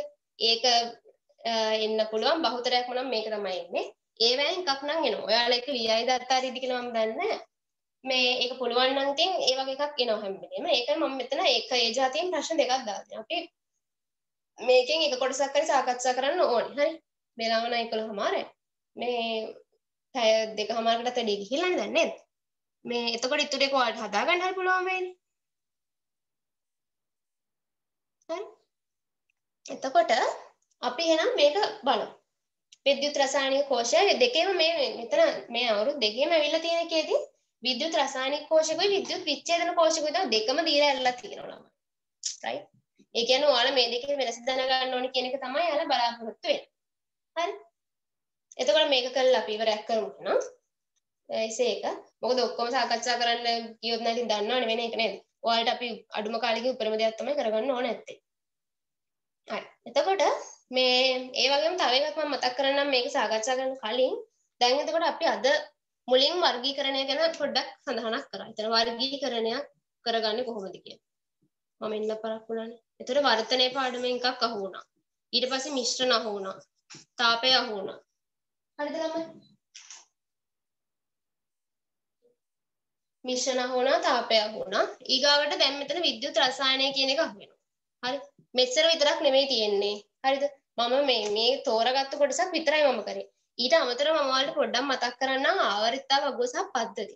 මෙතන මට අද කතා කරන්න බැරිවිච්ච ප්‍රධාන එකක් තමයි පද්ධති. මම මේක අද ගත්තේ නැති නමයි පද්ධති කරොත් නම් මේ මට එක් කරන්න නැති කියලා කිව්වත් එක්කලා මේ ඒ වුණාට පද්ධති කරොත් මට ඒක කොයිතරම් ස්පීඩ් කරත් ඒක කරගන්න බෑ. මේ අඩුම තරමේ ඒකට මේ මම මේක සයන්ස් ක්ලාස් සයන්ස් ක්ලාස් මම 11 ඒ ටික උගන්වන්නේ නැහැ. උගන්වන්නේ නැහැ. මේ උගන්නන කෙනෙකුත් අහලා බැලුවා එයාත් කිව්වේ එච්චර ඉක්මනට ඒක පද්ධති ටික කරගන්න බැහැ නැත්තම් පද්ධති ටික ඉතාම වැදගත් බයොලොජි වල. හරිද? අනිවාර්යෙන් ඔයාට පද්ධති ටික පාඩම් කරන් ගියොත් අනිවාර්යෙන් පද්ධති එක්ක රචනායකේ අර බයෝ විතරක් එන එකට සෙට් වෙන්න පුළුවන්. එක්ක බයෝ දන මේ ෆිසික්ස් කියලා කැලලක් එනවනේ මේ එක ප්‍රශ්නයක් කරන රචනාවල ඒකට එන්නත් පුළුවන්. අනිවාර්යෙන් බලන්න ඕන පාස් පේපරයක් අරන් කියන්න පද්ධතියක් නැත්තම් ඉවරයි. මම මේ සයන්ස් උගන්නන එක නවත්තර කරනවා ඉතින්. ඒක පද්ධතියක් තිබ්බේ නැත්තම්. හරිද? අනිවාර්යෙන් පද්ධතියක් තියෙනවා. හරිද? එතකොට ඒ හින්දා පද්ධති ටික අනිවාර්යෙන් බලාගෙන යන්න. ඒකට ෂෝට් නෝට් එකක් හරි වගු ගහ ගන්න එක තමයි ඉතාම හොඳ ඕනම දෙයක් පාඩම් කරන්න. හරිද ළමයි වගුවක් කියලා කියන්නේ ඇත්තටම ඕනම දෙයක සැසඳීමක් තියෙනවා නම් ඒක මතක තියෙන සම්භාවිතාවය දෙගුණකින් විතර වැඩි හරිද හැම එකකම සසඳීමක් තියෙනවා. ඇත්තටම ඉතින් මිනිස්සුනක් ගත්තාම සසඳන්නනේ ගොඩක් කට්ටිය කැමති නේද? කැමති වගේම තමයි ඒක තමයි ඕනම දෙයක් පාඩම් කරන්න මේ හොඳම ක්‍රමය. හරි. ඒ කියන්නේ ඒ වගේම පද්ධති පටල ගන්න එපා. මේ සමහර අවස්ථාවල පද්ධති දෙකක් දැන් වසා පද්ධතියයි රුධිරවාහිනී පද්ධතිය ගත්තොත් ඒ දෙක සම්බන්ධ කරලා ප්‍රශ්නයක් එන්න උනත් පුළුවන්. ඒ හින්දා ඒ ටික අනිවාර්යෙන් ආය පාරක් බලා ගන්න. ඔයා කොච්චර පාඩම් කරලා තිබ්බත් පද්ධති ටික ආය කියවගෙන යන එකෙන් ඔයාට පාඩුවක් වෙන්නේ නැහැ කියලා මම කියන්නේ විද්‍යාවේ ජීව විද්‍යාවේ.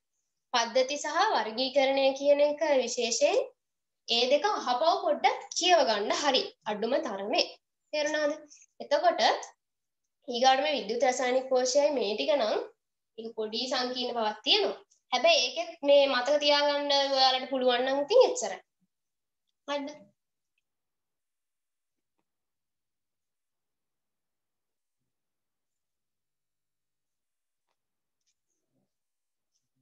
අනික මේකෙන් උපරිම රිසල්ට් එකක් ගන්න උත්සාහ කරන්න.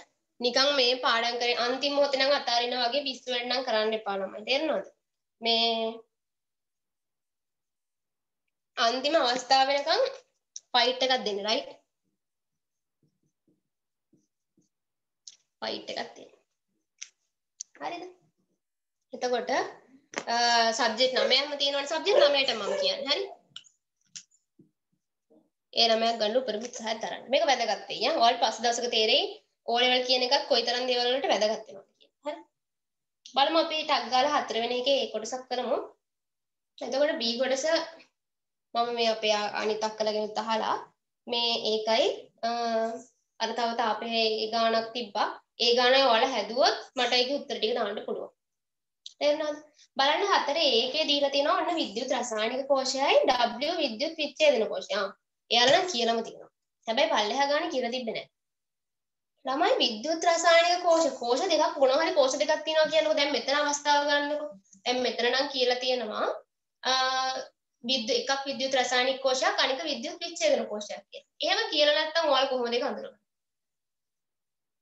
දන්නවනේ බැටරි එකක් ගහලා තියෙනවා නම් ඒක විද්‍යුත් විච්ඡේදනය. හරිද? බලන්නකම එතන මේ ඔය හතරවෙනි ප්‍රශ්නේ W කෝෂය තියෙනවා. හරිද? මෙතන දැන් බලන්න කෝෂ දෙකක් තියෙනවා.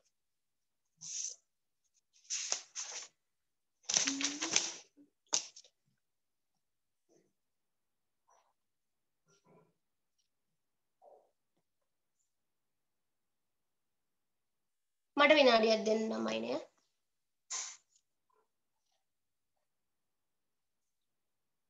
නේ. කොළොයි හතලිස් පාට.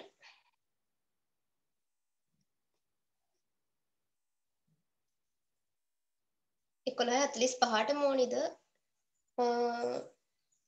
සවින්දනන්ගේ එකොළහයි හරි හරි මම එකොළ හතලිස් පාටිවර කරන්න හරි එකොළ හතලිස් පාට ඕකේ රයිට් අපි ටක් ගල බලමු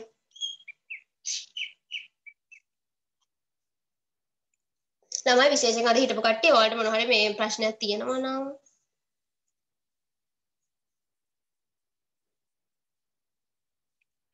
නෑ සවින්දනන්ගේ ප්‍රශ්න නැහැ. අපි 11:45 පරිවර කරමු. හරි. එතකොට දැන් බලන්න විද්‍යුත් විච්ඡේදන කෝෂයයි විද්‍යුත් රසායනික කෝෂය. හරි. ඔයාලට වෙන මොනවා හරි සම්බන්ධ ප්‍රශ්නයක් තිබුණ මට කියන්න. එතකොට දෙකම ද්‍රාවණ දෙකක් නම් තියෙනවා. තේරුණාද? ද්‍රාවණ දෙකක් තියෙනවා ඉලෙක්ට්‍රෝඩ දෙකක් තියෙනවා. හරිද? විද්‍යුත් විච්ඡේදන කෝෂයට කෝෂයක් ගහලා තියෙනවා. ඇයි මේ විද්‍යුත් විච්ඡේදනය කියන එකේදී කට්ටිය වෙන්නේ විද්‍යුත් ශක්තිය අපි පිටින් අපි දෙනවා ශක්තිය. විද්‍යුත් ශක්තිය කියන එක අපි පිටින් දෙනවා. හරිද? එතකොට ඒක තමයි අපි රසායනික ශක්තිය බවට පරිවර්තනය කරන්නේ. ඒ කියන්නේ දැන් ඕනම අවස්ථාවක එහෙමයි ළමයි. දැන් මේ මොකද කියන්නකො අපිට දැන් කරන්ට් කරන්ට් කපන්නේ මොකද? මම දන්නේ මම දන්න තරම් ඉන්න ඩීසල් ප්‍රශ්නේ. ඇයි? ඩීසල් ඩීසල් වලින් සපයනවා අපි රසායනික ශක්තිය. ඒකෙන් අපි ගන්නවා විද්‍යුත් ශක්තිය. මේ හැමතැනම ශක්ති පරිවර්තන තමයි වෙන්නේ. හරිද? ඒ වගේ බලන්න මේ විද්‍යුත් විච්ඡේදන කෝෂය ගත්තාම අපි බාහිරින් මේ කෝෂයක් ගහලා බාහිරින් කෝෂයක් ගහලා එතනින් විද්‍යුත් ශක්තිය සපයනවා. ඒ විද්‍යුත් ශක්තිය සැපීම හේතුවෙන් මෙන්න මේ මේ ද්‍රාවණය තියෙනවනේ. ඒ ද්‍රාවණය මොනවා හරි රසායනික ප්‍රතික්‍රියාවක් වෙලා අපිට ඕන දේ කරනවා. හරිද? මේ විද්‍යුත් විච්ඡේදනය යොදා ගන්න දන්නවනේ රත්තරන් ආලේප කරන අවස්ථාවේ එහෙම අපි ගන්න නේද? එතකොට විද්‍යුත් රසායනික කෝෂය ගත්තාම ඊට වඩා වෙනස්. මෙතන අපි මොකක් හරි හිතනකො ඇමීටරයක් හරි මොකක් හරි එකක් ගහලා තියෙනවා. හැබැයි මෙතන බාහිරින් නම් මේ ශක්තිය දීමක් කරන්නේ නැහැ හරිද? අපි මේකෙන් හදන්නේ බාහිරින් විද්‍යුත් ශක්තියක් ගන්න. බාහිරින් විද්‍යුත් ශක්තියක් ගන්න තමයි අපි හදන්නේ. මේ විද්‍යුත් රසායනික කෝෂය කියන්නේ 아무තු එකක් නෙවෙයි ළමයිනේ. මේ විද්‍යුත් රසායනික කෝෂය කියන්නේ මේ ළමයි ළමයි කොට තරහ වෙන්න එපා හරි. මට ඒක නිකම්ම කියවෙන්නේ. හරිද? මේ විද්‍යුත් රසායනික කෝෂය කියන්නේ අපි දන්න බැටරි එක තමයි. බැටරි එකේ සරල කෝෂය. ඔයාලා දන්න දැන් නම් බැටරි වැඩි පාවිච්චි කරන්නේ ටෝච් බැටරි තියෙන්නේ. නේද? අපි ඔරලෝසු වලට එහෙම දාන බැටරි තියෙන්නේ. ඒව ගත්තාම මේ ඒව ගත්තාම ළමයි මේ එතෙන්දි වෙන්නේ අපේ ඇතුලේ තියෙනවා රසායනික ද්‍රව්‍ය. කියන්නේ කාබන් කූරක් තියෙනවා. ඔයාලා බැටරියක් හම්බුනා ගලලා බලන්න කාබන් කූරක් තියෙනවා. එතන තව ඔය වටේ පිටේ ඔය එක එක જાතියක් තියෙනවා. එතන රසායනික ප්‍රතික්‍රියාවක් වෙනවා. හරිද? එතනින් විද්‍යුත් ශක්තිය නිපද වෙනවා. මෙතනත් වෙන්නේ එහෙම තමයි. රසායනික ප්‍රතික්‍රියාව මේ ද්‍රාවණයයි මෙන්න මේ ඉලෙක්ට්‍රෝඩ දෙකයි අතර ප්‍රතික්‍රියාවක් වෙලා මෙන්න මෙතනින් අපිට ඇමීටරයක් හරි මොකක් හරි ඇමීටරයක් හරි වෝල්ට් මීටරයක් හරි සෙට් කරොත් මේ මේක ලැබ් එකේ හදන්න පුළුවන් ප්‍රශ්නයක් නෑ. සාමාන්‍යයෙන් මෙතෙන්ට ගන්න සිංක් එතෙන්ට කොපර් ගන්නවා. මේක තමයි සාමාන්‍යයෙන් බහුත් බහුලව භාවිත කරන කෝෂ්ඨ. අරන් මෙන්න මේ ඇමීටර් සෙට් කරාම මේ ඇමීටර් වැඩ කරනවා. බල්බයක් ගහුව බල්බයක් පත් වෙනවා කියලා හිතා ගන්නකො. ඒකට බල්බ් එක පත් වෙන තරම් නම් ධාරාවක් ගන්න බෑ. ඒකට හේතු තියෙනවා. බලන්න ආ මේ පළවෙනි එක අහන්න බලන්න. රසායනික ශක්තිය විද්‍යුත් ශක්තිය බඩ පරිවර්තනය වන්නේ ඉහත කුමන කෝෂයේද? ඒක ඉතින් මම දැන් කිව්වනේ. අපි බාහිරින් විද්‍යුත් ශක්තියක් ගන්නේ විද්‍යුත් රසායනික කෝෂය. එහෙම ලියලා හරියන්නේ නැහැ. මෙතන ලියන්න U කෝෂය කියලා. හරිද? අනිවාර්යෙන් ඔයාලා පුළුවන් නම් පාස් පේපර්ස් හරි විශේෂයෙන් පාස් පේපර්ස්. හරි? මොකද උත්තරත් ඔයාලට තියෙනවනේ. ඒවා කරන්න. හරිද? කරන්න කියන්නේ උත්තර බලාගෙන හරි කමන්නේ කරන්න. ඒකෙන් ඔයාලා පාඩම් කරේ නැතත් ඒක ලොකු ප්‍රයෝජනක් වෙයි. හරිද? ඊගාට අහනවා කෝෂ දෙකේම සිදුවන ඇනෝඩ ප්‍රතික්‍රියා පොදුවේ හඳුන්වන නම කුමක්ද කියලා. හරි. කෝෂ දෙකේම ඇනෝඩ ප්‍රතික්‍රියා පොදුවේ හඳුන්වන නම ඔක්සිකරණ ප්‍රතික්‍රියා. ඔක්සිකරණ. කයන්නේ හරණ නෙවෙයි. ඇනෝඩේ ඇනෝඩේ අවස්ථා දෙකෙන් වෙන්නේ ඇනෝඩ් එක එතකොට හඳුන ගන්න තියෙන එක. ඇනෝඩේ අවස්ථා දෙකෙන් වෙන්නේ ඔක්සිකරණ ප්‍රතික්‍රියාව. කරණය තමයි වෙන්නේ. කැතෝඩේ ආශ්‍රිතව තමයි ඔක්සි හරණය කියන එක සිදු වෙන්නේ හයන්න. ඔක්සිකරණ ප්‍රතික්‍රියාව තමයි ඔක්සිකරණය කියලා කියන්නේ ඉලෙක්ට්‍රෝන පිට කරනවා. ඉලෙක්ට්‍රෝන පිට කරනවා කියන එක තමයි ඔක්සි කරණය කියලා කියන්නේ. හරි. එතකොට යූ කෝෂයේ ඇනෝඩය අසල සිදුවන අර්ධ ප්‍රතික්‍රියාව රසායනික සමීකරණයකින් දක්වන්න. යූ කෝෂය. U කියන්නේ අපේ විද්‍යුත් රසායනික කෝෂය, W කියන්නේ විද්‍යුත් විච්ඡේදන කෝෂය. ඒකේ සිදුවන ඇනෝඩය අසල සිදුවන අර්ධ ප්‍රතික්‍රියාව රසායනික සමීකරණයක ලියන්න. බලන්න මෙතන මෙතනත් සිංක් කොපමයි තියෙන්නේ. ඔයාලා ළමයි වෙන උගක්වත් ඕනේ නැහැ. ඔය අත්පතේ තියෙන කෝෂ ටික තියෙනව නේද? ඔන්න ඔය කෝෂ ටික බලන් යන්නකො එච්චරයි. ඔය කෝෂ වලින් අමතර වෙන්නේ හරිද? ඔය කෝෂ ටික තමයි බොහෝ විට එන්නේ මේ විද්‍යුත් රසායනික විද්‍යුත් විච්ඡේදන කෝෂයේ සෝරි විද්‍යුත් රසායනික කෝෂයේ දැනගන්න සක්‍රියතා ශ්‍රේණිය ගැන පොඩ්ඩක් දැනගන්න ඕනේ. සිංක් තමා උඩින් ඉන්නේ. ඊගාවට යකඩ. ඊගාවට කොප. ඔන්න ඔය ටික දැනගත්තා නම් හරි. ඒකත් මතක තියාගන්න ඕනේ ප්‍රතික්‍රියා වෙනකොට. සක්‍රියතා ශ්‍රේණියම පාඩම් කරන්න ඕනේ නැහැ. ඒකම පාඩම් කරන්න තියපා වෙනවනේ.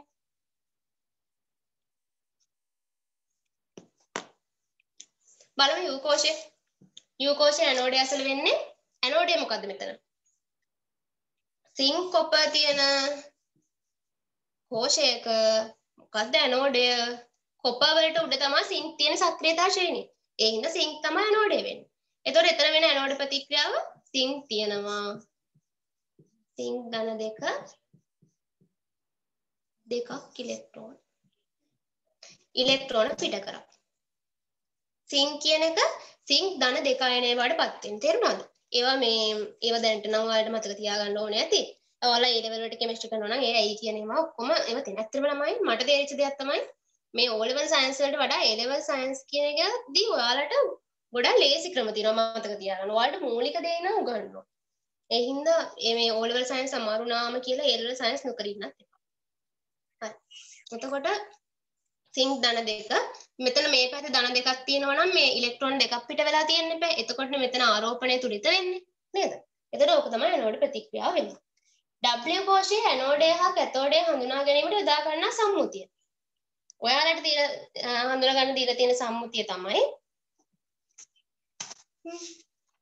ධනාග්‍රයට සම්බන්ධ නම් ඇනෝඩය ඍණාග්‍රයට සම්බන්ධ නම් කැතෝඩය. ඒක මතක තියාගන්නත් ක්‍රිටි ක්‍රමයක් තියෙද්ද දන්නේ නැහැ ළමයි. ධනාග්‍රයට මගේ පෑන ලියවෙන්නේ නැහැ. ධනාග්‍රයට සම්බන්ධ ඇනෝඩය ඍණාග්‍රයට සම්බන්ධ කැතෝඩය. හරි ඒක තමයි සම්මුතිය. ඒක ඒ ටික ලියුවම ඇති. ධනාග්‍රයට සම්බන්ධ ඉලෙක්ට්‍රෝඩය ඇනෝඩය වෙනවා ඍණාග්‍රයට සම්බන්ධ ඉලෙක්ට්‍රෝඩය කැතෝඩය වෙනවා. ඊගොල්ලෝ මම පස්වෙනි එකේ දිහාන එක. ඇත්තටම පස්වෙනි එකට උත්තර ලියන්න ළමයි. ඔයාලා දැනගන්න ඕනේ මෙතන වෙන්නේ මොකක්ද කියලා.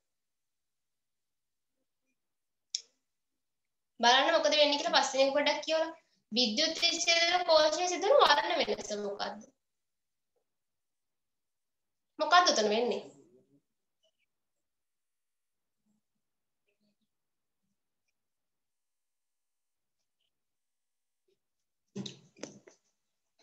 W කෝෂය ක්‍රියාත්මක වීමේදී උතන වෙනවා කැතෝඩේ මෙන්න මේ ක්‍රියාවලිය. sorry.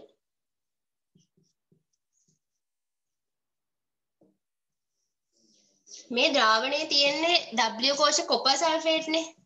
කොපර් සල්ෆේට් වල තියෙන කොපර් අයන මේ ඉලෙක්ට්‍රෝන ලබාගෙන කොපර් විදිහට තැම්පත් වෙනවා. ඇත්තට මේ කොපර් සල්ෆේට් කියන එකේ ද්‍රාවණයේ ලස්සන නිල් පාටක් තියෙනව නේද? ඒ නිල් පාට ලැබිලා තියෙන්නේ තමයි මේ කොපර් දෙක ධන අයනය. කොපර් දෙක ධන අයනය හින්දා.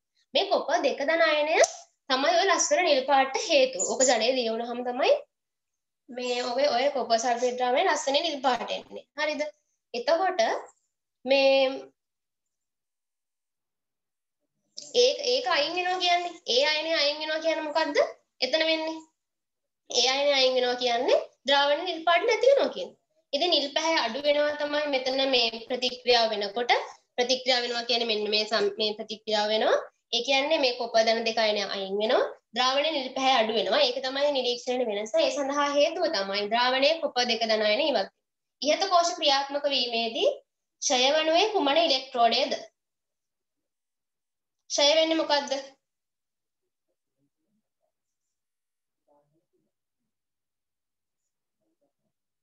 W කෝෂයේදී නම් මොකක්වත්ම ෂේ වෙන්නේ නැහැ ළමයි.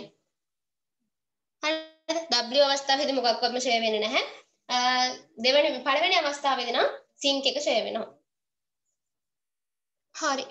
ටයිම් එකත් ගිහිල්ලා තියෙන්නේ. හොඳද? times up. හරි. account එක තව කාටද දෙන්නත් ඕනේ.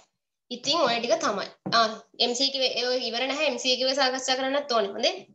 MCQ එක පුළුවන් නම් මම කැමති ඔයාලා උත්තර ටික ගහලා තියෙනවා නම් උත්තර ටික ගහලා තියෙනවා නම් ඔයාලා ඉන්න කට්ටිය උත්තර මාක් කරා නම් මට උත්තර ටික එවන්න.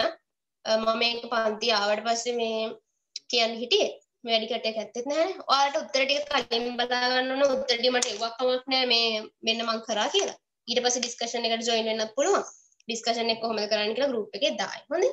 එතකොට රචනා ටික ඉතින් මේ මම අර කලින් කියපු ටික තමයි ඉතින් මේ කොහොම හරි පේපර් එක හොඳට කරන්න. එහෙනම් අපි නවත්තමු නේද? කවුද මට උදව් කරපු එක්කෙනා thank you හොඳේ reply දීලා නැත්තම් මට මෙතන නිින්ද යන්නත් ඉඩ තිබ්බා. කවුද මල්ඩි? හරි එහෙනම් අපි ඉවර කරමු හොඳේ? මේ මේක channel එකේ දායි ආ මට thank you කියන්න නැද්ද දන්නේ එයා welcome දාන්න කමක් නැහැ මේ හරි එහෙනම් මේ හැමෝටම එක්සෑම් එක කරන්න සුබ පතනවා මේ අපි MCQ එකකිනුත් එනවනේ එහෙනම් අපි මේක එන්ඩ් කරමුනේ හරි